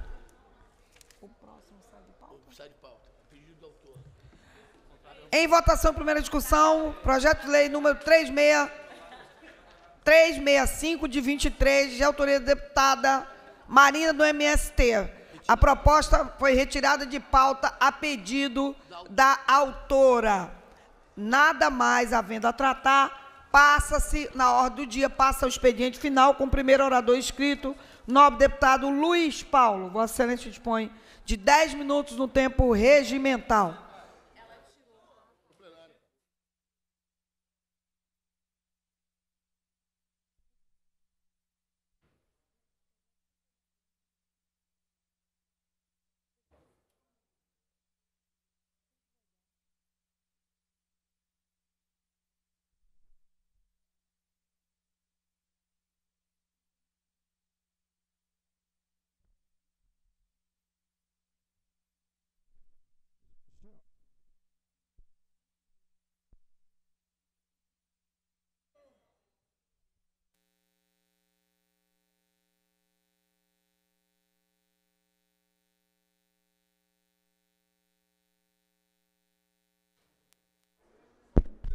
Senhora presidente, deputada Tia Ju, senhoras e senhores deputados que nos acompanham de forma presencial ou remota, senhora intérprete da língua de Libras, que leva a nossa voz aos deficientes auditivos.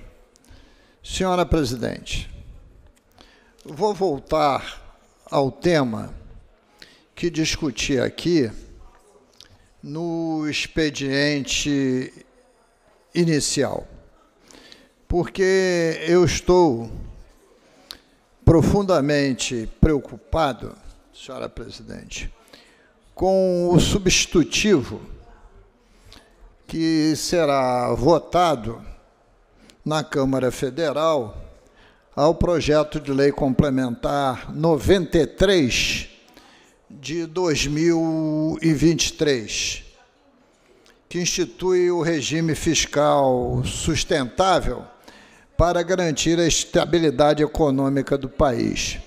Popular, projeto de lei complementar da âncora fiscal, hoje denominado arcabouço fiscal. Esse arcabouço fiscal, senhora presidente, é mais um pacote das maldades. Mais um pacote das maldades. Custa-me crer que a mensagem do executivo tenha merecido um substitutivo desta qualidade.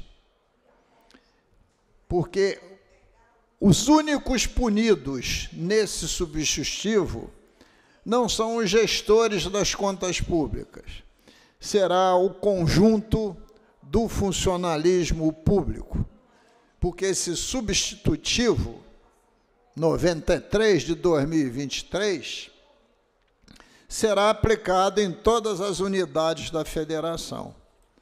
E, senhora presidente, os gatilhos colocados nesse substitutivo pelo relator, deputado Cláudio Cajado, do PP da Bahia, já teve o acordo patrocinado no Colégio de Líderes. Será votada possivelmente amanhã a urgência e aprovada a urgência, ninguém fará mais emendas e o substitutivo será aprovado. Eu não consigo entender como há um debate aqui no parlamento entre dois extremos que acordam com um projeto desse. Não consigo acreditar. Os gatilhos são inadmissíveis. O que está previsto no projeto, senhora presidente? Se as metas não forem cumpridas no primeiro ano depois de aprovar o PLC, fica proibido o que no primeiro ano? Criação de cargos, empregos ou função que implique aumento de despesa, consoante o inciso 2 do artigo 167-A da Constituição Federal. O artigo 167-A da Constituição Federal nasceu da emenda constitucional número 109 de 21 do governo Bolsonaro, feito pelas mãos da Câmara Federal e do ministro neoliberal da economia. Ultra, radical ultraliberal, senhor Paulo Guedes. E nesse substitutivo, o inciso segundo, exatamente do artigo 167A da Constituição, proíbe, se a meta não for cumprida, de criação de cargos, emprego ou função que, aumento, que implica aumento de despesa. Mas não acabou. Também proibiria a alteração na estrutura de carreira que implique aumento de despesa. Plano de cargos de salários? Não. Isso está escrito aonde? No inciso terceiro do artigo 67A, exatamente da emenda constitucional do governo Bolsonaro, Paulo Guedes, Câmara Federal. E isso está onde? Está no artigo 6 do substitutivo. Mas não acabou também ficará proibida a criação ou majoração de auxílios. Auxílio educação, auxílio transporte, não pode majorar nada.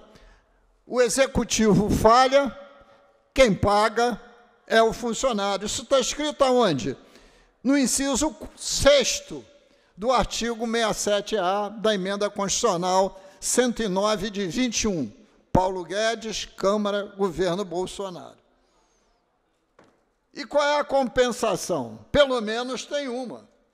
Reajuste de despesas obrigatórias fica proibida, a exceção do salário mínimo.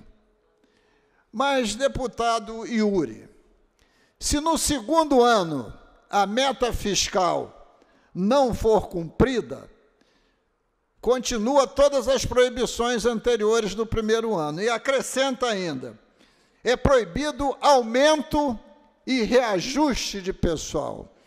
Inciso 1 do artigo 167-A da Constituição Federal, que origina-se da emenda constitucional 109 de 21 do governo Bolsonaro a Paulo Guedes. Além do mais, fica proibida a admissão de pessoal, contratação. Inciso 4 da respectiva emenda constitucional. E pasme, senhora presidente. Por último, fica proibido a realização de concurso público. Inciso 5 da emenda constitucional 109 de 21, retratada pelo artigo 167-A. Então, o arcabouço fiscal nada mais é que uma reafirmação da emenda constitucional 109 de 21. Aí alguém pode dizer assim, mas se cumprir as metas, revoga-se as medidas. Se cumprir, mas se não cumprir, paga o funcionalismo público. Ah, mas tem ali uma brecha no parágrafo 2 do artigo 6 que diz que, se não cumprir, poderá ter uma mensagem do presidente da República para propor alguma alteração. Enquanto isso, paga o funcionalismo público. Eu, quando li e fui verificar, entrando evidentemente no site do Congresso Nacional, especificamente da Câmara Federal, no início, eu achei que eu podia não estar entendendo, mas é a pura verdade. O ganho, e eu reconheço o ganho. O salário mínimo está livre do teto e também o Bolsa Família. Mas trocar a punição, a punição dos gestores para punir o funcionalismo público, não dá para entender. Aliás, eu já não consigo entender muita coisa, já faz muito tempo. E tempos mais difíceis virão. Por quê? Ao aprovar esse PLC, vai ter que mexer, por causa do regime de recuperação fiscal, no teto de gasto dos estados. E eu espero que o parlamento fluminense não queira entrar nesse engodo, senhora presidente. Então, queria trazer essa questão, evidente que ainda não está votado, mas é o substitutivo. E vamos ver qual é o comportamento da Câmara Federal. Conselho da parte ao deputado Yuri, por favor. Obrigado.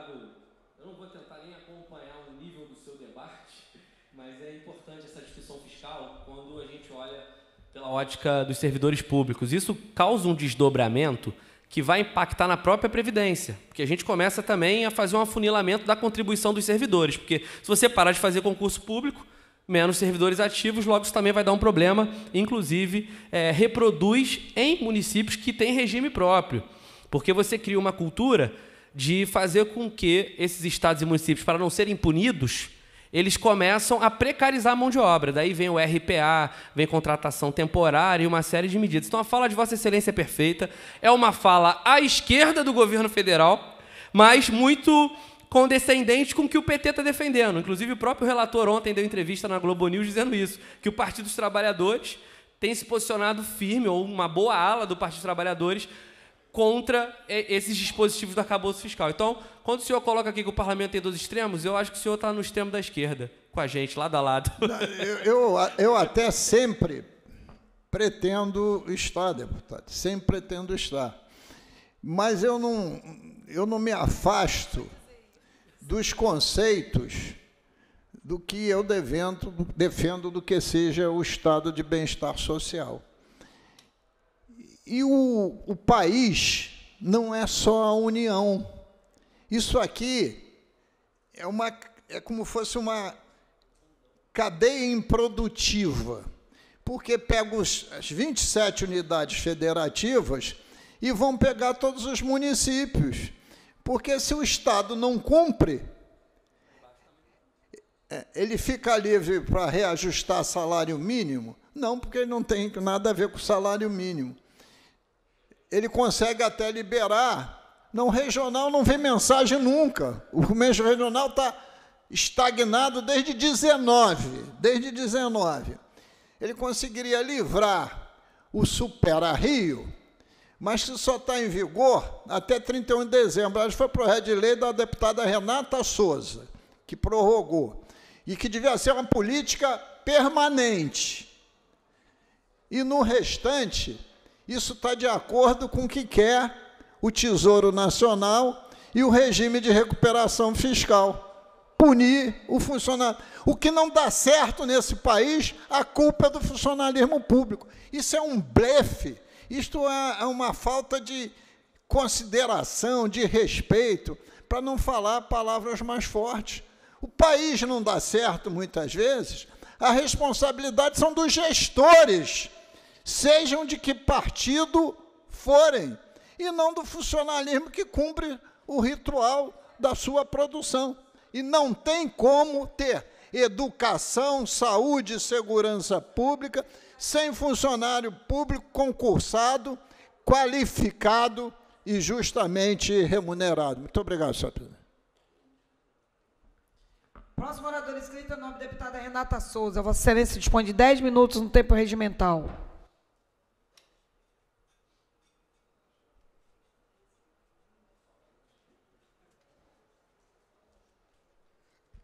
Senhora presidenta, muito importante o debate que o deputado Luiz Paulo fez aqui, e eu quero aproveitar também é, as mudanças fiscais é, que nós tivemos no nosso país e saudar o governo Lula por ter aí enfrentado um debate que foi central, inclusive foi central lá na campanha de tirar toda a paridade com relação à venda dos, dos, do petróleo. E aí, quando retira a paridade, você tem a possibilidade de é, importar, obviamente, gás, petróleo, gasolina, enfim, todos os seus derivados a custo do real e não do dólar. Então, tirar tirar a dolarização da economia da Petrobras foi um acerto importante. Isso vai demonstrar no, no valor do gás de cozinha, no valor dos combustíveis no nosso Brasil e não precisou aí de tentativa de, escam, é, de escamotear toda uma situação como aconteceu aqui no Rio de Janeiro, com a redução do ICMS sobre a gasolina e que a gente está perdendo ano a ano o equivalente à venda de uma SEDAI, ou seja, os próximos anos aí a gente tem um abismo fiscal e orçamentário no estado do Rio de Janeiro, porque, por óbvio, a, SEDAI foi vendida a 22 bilhões, mas a gente está deixando de arrecadar ano a ano quase 22 bilhões, ou seja, a gente está num abismo. E, obviamente, que quando o presidente Lula e o presidente da Petrobras adiantam um debate tão fundamental e importante, que é tirar a dolarização do custo do petróleo, a gente tem aí a possibilidade de você ter gás de cozinha num preço justo e também a gasolina num preço justo. Então, essa, esse é um elemento importante da nossa economia a gente precisa saudar ao governo Lula por isso. E aí, senhora presidenta, quero dizer aqui que hoje estive na cidade de São João de Meriti, no Hospital da Mulher Eloneida Sturdat.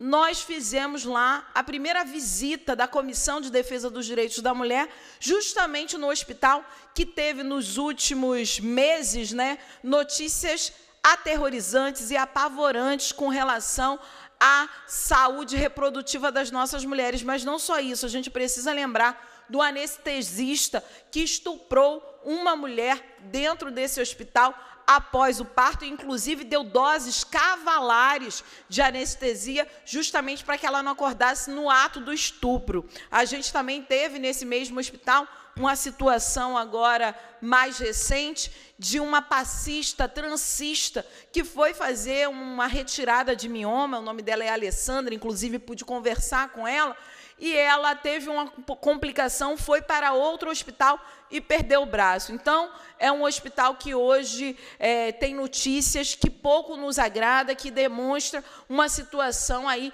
preocupante com relação ao seu cotidiano. E nós estivemos lá com a Comissão de Defesa dos Direitos da Mulher, apurando também, levantando, perguntamos sobre a sindicância relacionada a esses casos, nós fomos atendidos diretamente pelo diretor Abraão, que nos mostrou toda a instalação do hospital e, e, fiquei muito surpresa, deputado Yuri, porque faço visitas cotidianas a maternidades e a hospitais e eu fiquei surpresa com a estrutura física do Hospital Eloneida Sturdat, que tem ali a possibilidade, sim, de fazer um bom trabalho, de entregar condições é, para que essas mulheres saiam ali com a sua saúde reprodutiva assegurada.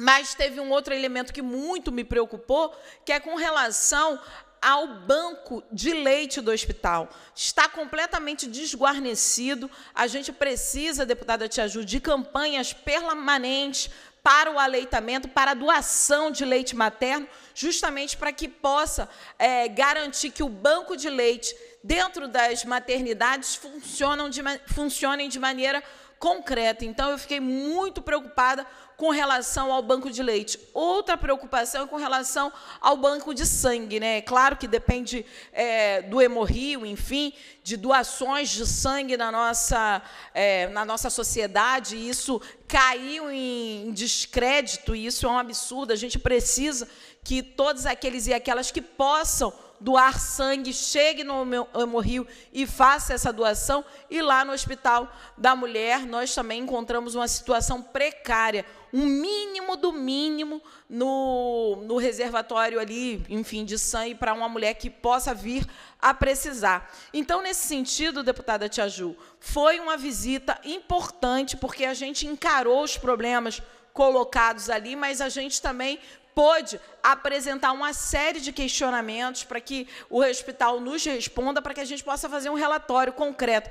Esses questionamentos serão feitos também nas outras maternidades, nos outros hospitais da mulher, que nós visitaremos em todo o estado do Rio de Janeiro, justamente para que a gente possa fazer um retrato, uma análise, uma reflexão sobre os hospitais da mulher e o que, que significa isso para a saúde reprodutiva das nossas mulheres. Então, foi uma ainda importante a São João de Meriti e a gente está de olho nas coisas acontecendo ali. Uma outra visita que eu fiz essa semana, deputada Tia Ju, foi a cidade... É, foi a cidade de Teresópolis. Estive lá, deputado Yuri, na favela do Rosário, que sofreu lá atrás, em 2010, 2011, uma situação gravíssima com relação às enchentes em Teresópolis. Muitas casas lá foram condenadas, inclusive foram apontadas pela Defesa Civil com dificuldade de, de, enfim, de obviamente não ter condições daquelas pessoas morarem ali, houve várias tentativas, inclusive condenando aqueles imóveis, mas as pessoas que tiveram algumas tentativas, por exemplo, de acesso ao é, aluguel social, teve problemas. Então, o aluguel social, metade é custeado pela Prefeitura de Teresópolis e a outra metade é custeada pelo governo do Estado. E a gente pôde ver que muitas pessoas não conseguem atualizar o aluguel social, então o aluguel social é retirado. Então, essa pessoa teve a casa demolida porque estava condenada e depois ela perde o aluguel social. E aí, sabe o que está acontecendo, Yuri? As pessoas estão voltando para a área de risco. De novo, morando em uma situação de precariedade, porque não tem outra opção de morar senão na rua. Então, as pessoas acabam virando numa lógica, num círculo tão uma bola de neve, numa situação de extrema vulnerabilidade, muitas mulheres, muitas crianças, muitos idosos O Rosário, que fica no complexo é, de São Pedro, em Teresópolis, tem ali é, a sua manutenção desde a década de 60. Então, não é possível que os governos, tanto municipal quanto estadual, não olhem a dignidade humana dessas pessoas. E aí foram prometidas lá atrás 140 apartamentos para alocar essas pessoas. Isso há 10 anos atrás. Esses apartamentos não chegaram. Agora, de novo, anunciaram 100 apartamentos, ou seja, menos do que era naquela época. E não tem qualquer previsão de entrega. Então, a situação ali é dramática. Eu que presidi a Comissão de Enfrentamento à Miséria e Combate à Pobreza aqui na Assembleia Legislativa nos últimos dois anos, pude ir na favela do Lixão, é, na favela do Lixão, na favela do Fischer, que é uma favela que tem um lixão onde as pessoas sobrevivem do material reciclado retirado dali, e a gente vê uma situação de completo abandono. Então, ir a Teresópolis é também dar a condição dessas pessoas apresentarem as suas demandas para a Assembleia Legislativa. Então, deputado Yuri, a região serrana que sofre, e Vossa Excelência é de Petrópolis, sabe o quanto que essas tragédias poderiam ser evitadas, são tragédias também previsíveis, não há nenhuma obra hoje de contenção daqueles morros e a gente tem uma situação de precariedade.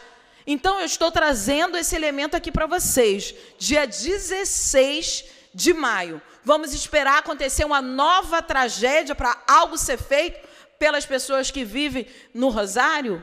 É isso mesmo? Vamos esperar uma nova tragédia acontecer em Petrópolis para que as pessoas sejam tratadas com, tratadas com dignidade e tenham acesso a uma fala, a algo que seja conclusivo. Porque se essas pessoas dedicaram a sua vida toda, conseguiram construir aquela casa, aquela casa foi condenada, o mínimo que teria que ter imediatamente era uma verba indenizatória, para que essa pessoa pudesse ela comprar uma outra moradia e construir a sua vida. Agora o, o governo vai lá, promete uma casa, paga um aluguel com data de validade, um aluguel social com data de validade, de 500 reais, que é uma vergonha. 500 reais você não consegue alugar casa lugar nenhum. Nem na favela, nem na favela você consegue alugar uma casa por 500 reais. Então é uma vergonha.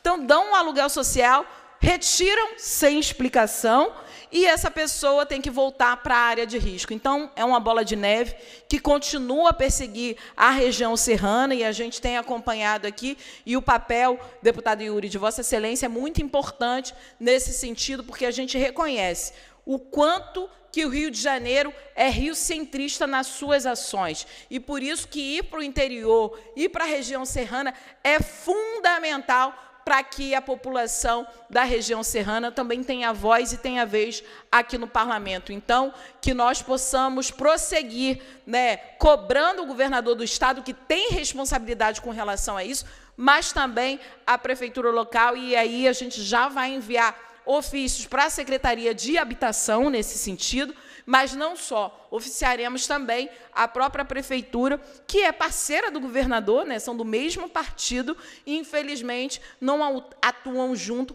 para resolver o, o problema da população mais empobrecida de Teresópolis. Então, deixar aqui essas minhas reflexões, não sei, quer fazer uma parte, deputado Herói? Tá bom. Então, entender que a importância hoje é a urgência para que essas pessoas tenham garantido uma moradia digna, para que essas pessoas possam ter a sua sociabilidade respeitada, porque retirar aquela pessoa dali e colocar longe é que ela vai ter um problema com relação à escola dos filhos, vai ter um problema com o emprego que ela tem ali ao redor do bairro ou no bairro é, próximo. Então, a gente precisa é, prever com o mínimo a dignidade humana dessas pessoas que está sendo completamente vilipendiada. Então, fica aqui meu abraço à população de Teresópolis. Muito obrigada, deputada Tia Ju. Deputada Renata, eu pediria para Vossa Excelência assumir aqui a, a presidência. O próximo orador inscrito é o nobre deputado Felipe Pobel. Vossa Excelência dispõe de 10 minutos no tempo regimental.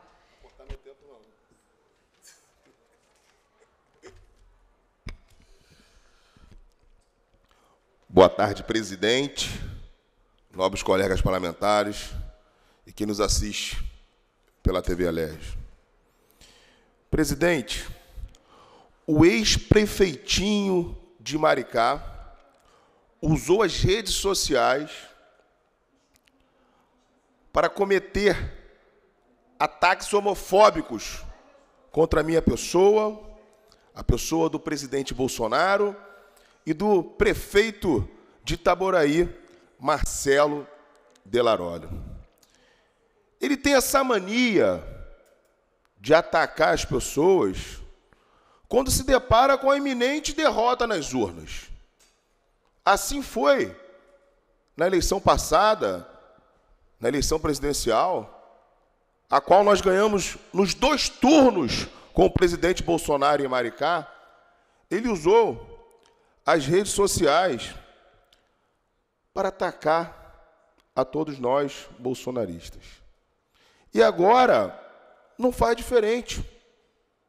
Não faz diferente porque o castelo de areia dele vai desmoronar vai desmoronar. Com um discurso homofóbico, me atacando, usando de uma histeria, um discurso criminoso, até porque homofobia é crime. Ele usou as suas redes sociais para emitir diversos ataques à minha pessoa, ao presidente Bolsonaro e ao prefeito, meu amigo Marcelo Delarolho. Mas o tiro saiu pela culatra. O tiro saiu pela culatra. Está sendo criticado pela base do seu partido, pelos filiados do seu partido e pela comunidade. A comunidade que defende os homossexuais. Está sendo muito criticado. Ainda agora, uma deputada do PT, ou melhor, do grupo do ex-prefeitinho de Maricá, aquele que tem a voz fina, voz de tacara rachada, voz de gazela, voz irritante, estava aqui falando sobre publicações internet sociais que visam denigrir a imagem das pessoas. E eu não vi a deputada do PT se manifestar contrário ao vice-presidente nacional do PT. Dois pesos, duas medidas. Agora aqui, ex-prefeitinho de Maricá. Não seria demérito algum se eu fosse homossexual. Não seria demérito algum. Demérito é roubar. Demérito é ter relações obscuras com traficantes, como o senhor esteve no coração do complexo da Penha, desfilando numa garupa de moto, onde nem o blindado consegue chegar. E pasmem, povo maricaense, refrescando a memória de vocês, no dia seguinte, Maricá sofreu um intenso ataque do Comando Vermelho. Coincidência? Ex-prefeitinho, explique a população. Você um dia está no coração do Comando Vermelho desfilando na garupa de uma moto.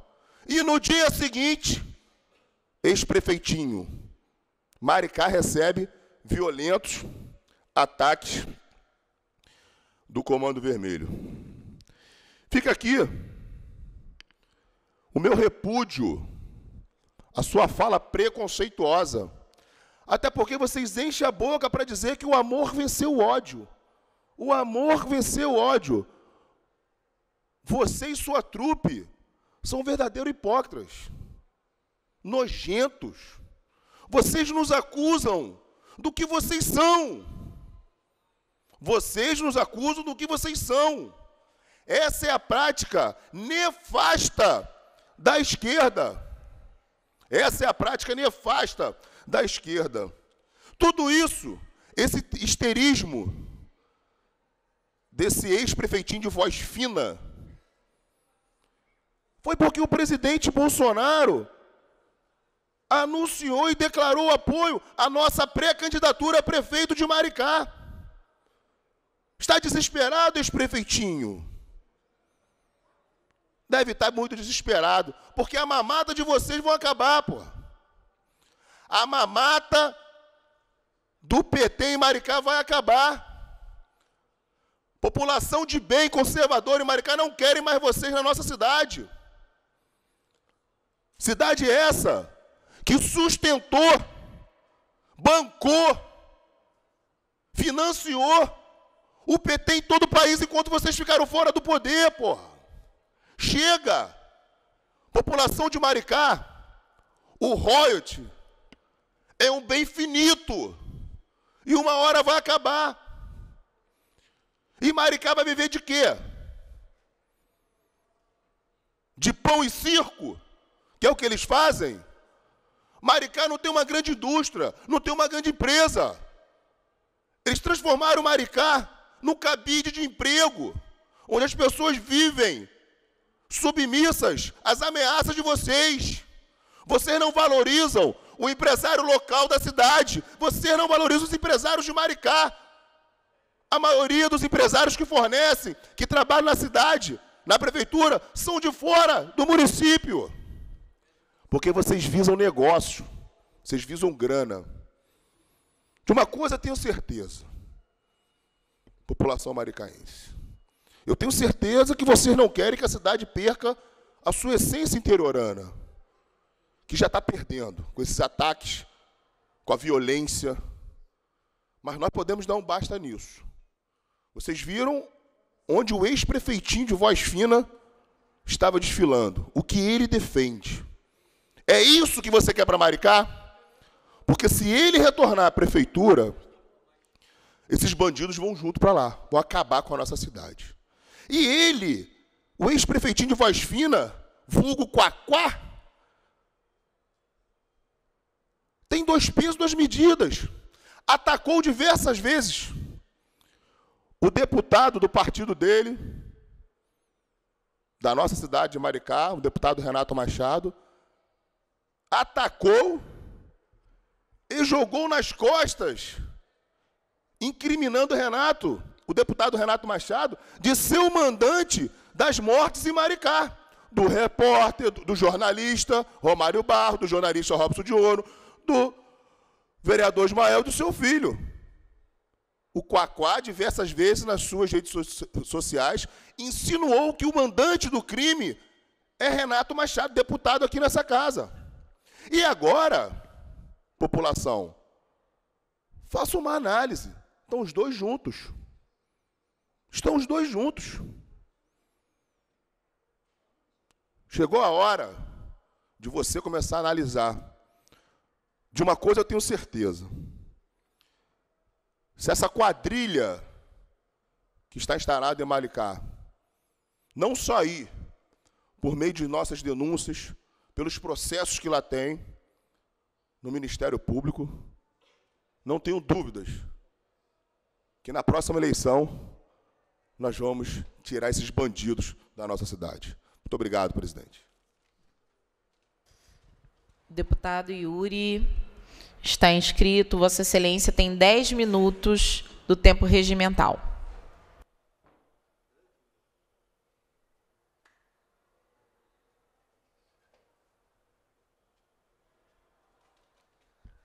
Muito obrigado, minha companheira deputada Renata Souza. Bom, são muitos assuntos, mas vou tentar ser breve, priorizando alguns deles. Primeiro, agradecer a todo o povo de Petrópolis que me recebeu, como sempre, de braços abertos, na volta do nosso gabinete de rua. Eu tenho essa prática de colocar um gabinete na rua antes mesmo de ter mandato, antes de ser vereador, antes de ser deputado, e agora, completando esse terceiro mês na LERJ,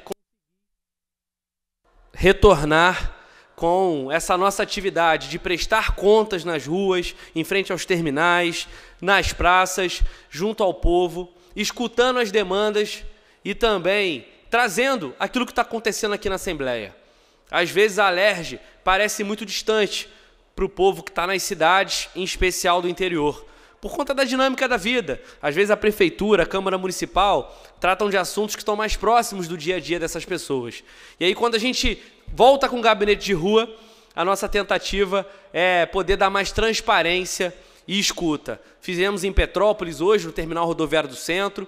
Vamos manter algumas outras ações também em Petrópolis, nos outros terminais, nos bairros, gabinete de rua, roda de conversa, mas também ainda nessa semana vamos chegar em outras cidades: Areal, Três Rios, Teresópolis, Paraíba do Sul, Friburgo, na capital também, São João de Meriti. Então, o gabinete de rua vai passar por uma caravana das cidades, onde o nosso mandato popular vai levar as nossas lutas e também agregar mais lutas que estão acontecendo nesses territórios. E aí falei sobre a nossa tentativa de instalar nessa casa a CPI da Enel, para que em 2026, quando for discutida a, a renovação desse contrato de concessão, nós possamos cobrar a conta dessa concessionária covarde, que deixa o estado do Rio no escuro, que faz com que comerciantes percam suas mercadorias, que faz com que mães e pais que precisam cuidar do medicamento dos seus filhos de maneira refrigerada fiquem desesperados por 72, uma semana, 72 horas, uma semana,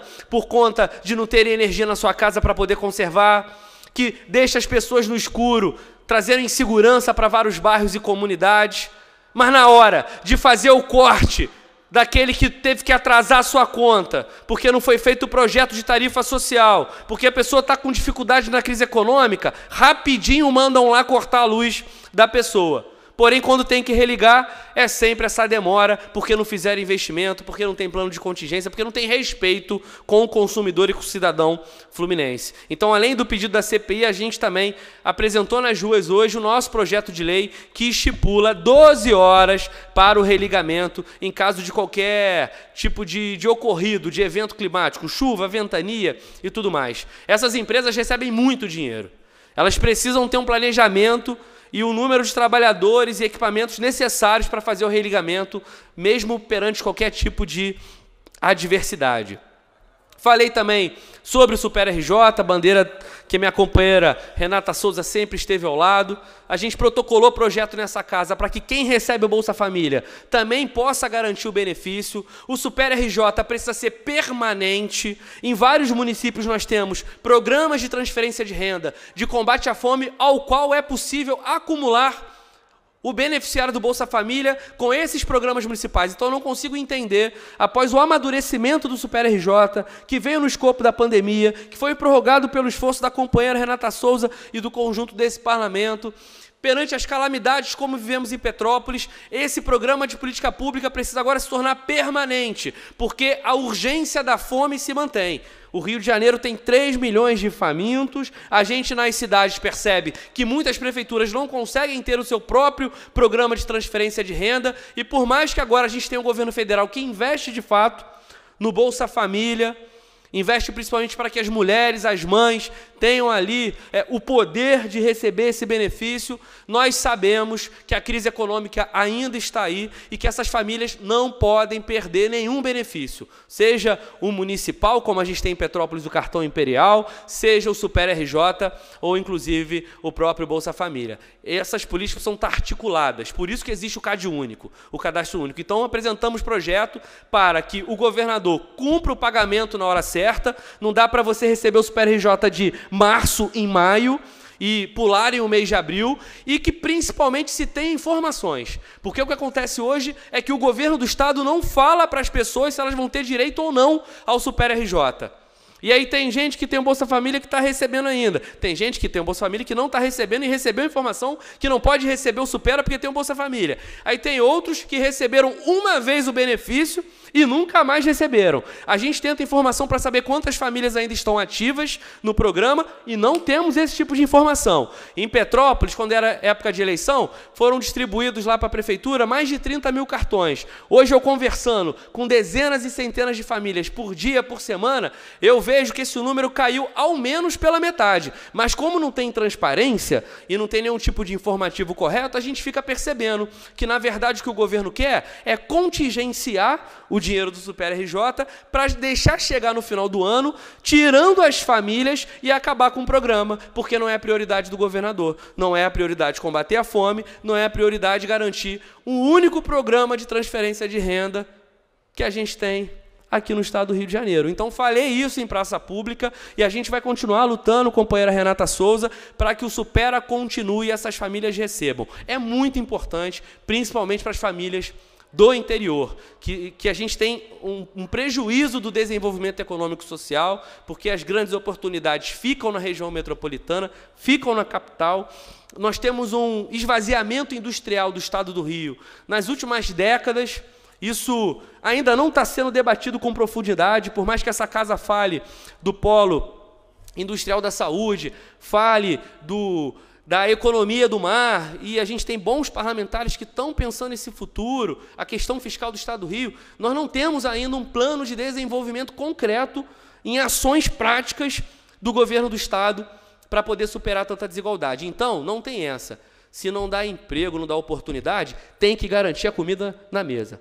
Tem que garantir o prato cheio para que ninguém passe fome. Então, falei da Enel, falei do Super RJ, e aí, como estava em frente ao terminal rodoviário, falei também do problema do transporte público, que é inaceitável em qualquer cidade do estado do Rio de Janeiro, inclusive aqui na nossa capital.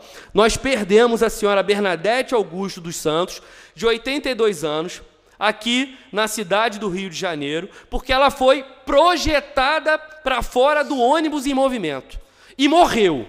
Alguém perdeu uma mãe, alguém perdeu uma avó, alguém perdeu uma vizinha, alguém perdeu um amigo, uma irmã, porque o transporte público no estado do Rio de Janeiro é um negócio mafioso.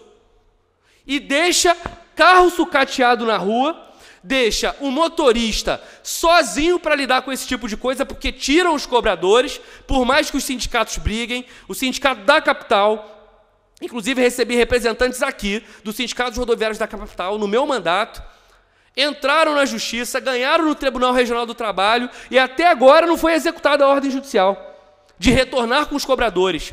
Porque não é o discurso da mecanização, da automatização do trabalho que tem que ser feito, é o discurso e o debate da segurança e da acessibilidade. O cobrador é um trabalhador que, além de receber a tarifa no valor em dinheiro, ah, mas está chegando a bilhetagem eletrônica, beleza. Mas para além disso, ele tem uma importância de ajudar a pessoa com deficiência a entrar no carro. Porque também, alguns meses atrás, uma mulher cadeirante foi projetada para fora do carro. Uma outra jovem, se eu não me engano, na Gávea, a outra na Vila Valquere, foram projetadas para fora do carro. Eu tenho certeza que se tivesse um profissional ali, porque os rodoviários são responsáveis, isso não aconteceria. Ele ia certificar da porta, ele ia garantir a entrada com acessibilidade para o idoso e para o deficiente. Ele ia poder ficar atento enquanto o motorista está dirigindo. É inadmissível ter uh, o código de trânsito brasileiro que você não pode dirigir e comer uma banana ao mesmo tempo, você perde ponto na carteira, e o cara poder dirigir, cobrar, contar e devolver troco. Essas empresas são covardes. Essas empresas são covardes. Aí lá em Petrópolis, a garagem da empresa pegou fogo. De duas empresas, que é, é cartel. O cara é dono de duas empresas. E eu avisei, ó, tá fazendo manobra na rua, tá expondo o rodoviário, tá causando trânsito na via pública, porque o cara pegou duas garagens e transformou em uma. Foi lá e pegou fogo, era óbvio. Um monte de cacareco, enfurnado. Os mecânicos reclamando que não tinha material para trabalhar. A empresa agora conseguiu uma recuperação judicial, conseguiu argumentar que está falida. Óbvio. Por que, que não entregou a concessão? Por que, que recorreu no Tribunal de Contas e na Justiça, quando foi obrigado a ter processo licitatório e vocês foram lá e conseguiram derrubar? Isso é um absurdo. Vão esperar mais quantas pessoas morrerem? Quantas idosas serem projetadas para fora dos carros? Quantos rodoviários ficarem expostos? Porque você acha que esse rodoviário estava dirigindo um carro com porta quebrada e a dona Bernadette voou metros para fora, dormiu tranquilo? Dormiu tranquilo? Mas o empresário de ônibus dormiu tranquilo. Ele pega o dinheiro dele, bota no exterior, aí vai pedir recuperação judicial. Carro quebrado, falta de cobrador, descumprimento de decisão judicial. Por isso que eu fui no Supremo Tribunal Federal para derrubar a dupla função em Petrópolis, no Rio, nas cidades como um todo. Então, assim, a gente precisa estar ao lado do movimento sindical, da categoria, dos usuários, porque esse modelo de transporte público no estado do Rio de Janeiro está insustentável. Virou questão de segurança segurança de milhões de passageiros que estão morrendo em carros quebrados, em carros que matam usuários e que ferem rodoviários. Então, presidenta, vou continuar fazendo essa disputa no campo da justiça, vou continuar denunciando, vou continuar me unindo às paralisações e às greves dos trabalhadores rodoviários e espero que a gente consiga, porque está tendo um debate federal de um marco do transporte público. E quando isso se desdobrar nesse parlamento, eu espero que a gente consiga a maioria para quebrar esse cartel, que aqui no estado do Rio de Janeiro se chamava FETransport, mudaram de nome para fazer um rebrand de marketing, mas não mudaram as práticas. Porque se fosse ruim para a FETransport e para as empresas de todas as cidades do estado do Rio, eles devolveriam a concessão. O empresário ou comerciante, quando vê que não está ganhando dinheiro, que não está valendo a pena e que aquele negócio está ruim, ele faz o quê? Não quero mais. Estou perdendo o meu capital, estou perdendo o meu investimento. Mas as empresas de ônibus não, porque tem gente conivente nas três esferas, nas três esferas da República, nos três níveis da República, com esse tipo de prática. Agora vai pedir recuperação judicial enquanto está mandando o trabalhador embora, enquanto está matando gente nos seus carros sucateados. Isso é um absurdo e a gente não vai permitir, vamos lutar até o final. Não temos medo de gente poderosa.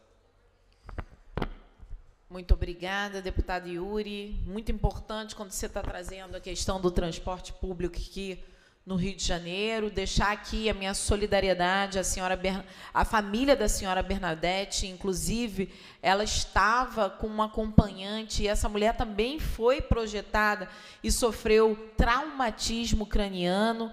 Então, a gente sabe que a política da morte é exatamente isso a necropolítica, como diz Bembe, se não mata na ponta do fuzil, deixa morrer sem acesso à saúde, sem acesso à comida ou num ônibus sucateado. Então é assim que ocorre também toda essa política que vai inviabilizar a vida das pessoas. Então, a gente está acompanhando muito de perto isso, também acompanhando a questão do Super RJ. Inclusive, nosso mandato está fazendo um levantamento sobre os dados concretos com relação ao não pagamento, com relação a todo o processo também de falta de transparência, justamente para que a gente possa ter provas robustas do quanto o governo está sendo omisso e negligente diante do principal programa de transferência de renda do Estado do Rio de Janeiro. Então, nesse sentido, é fundamental que essa casa esteja atenta. Então, muito obrigada, deputado Yuri. E não havendo mais orador ou orador inscritos, a presidência encerra a, pres a presente sessão.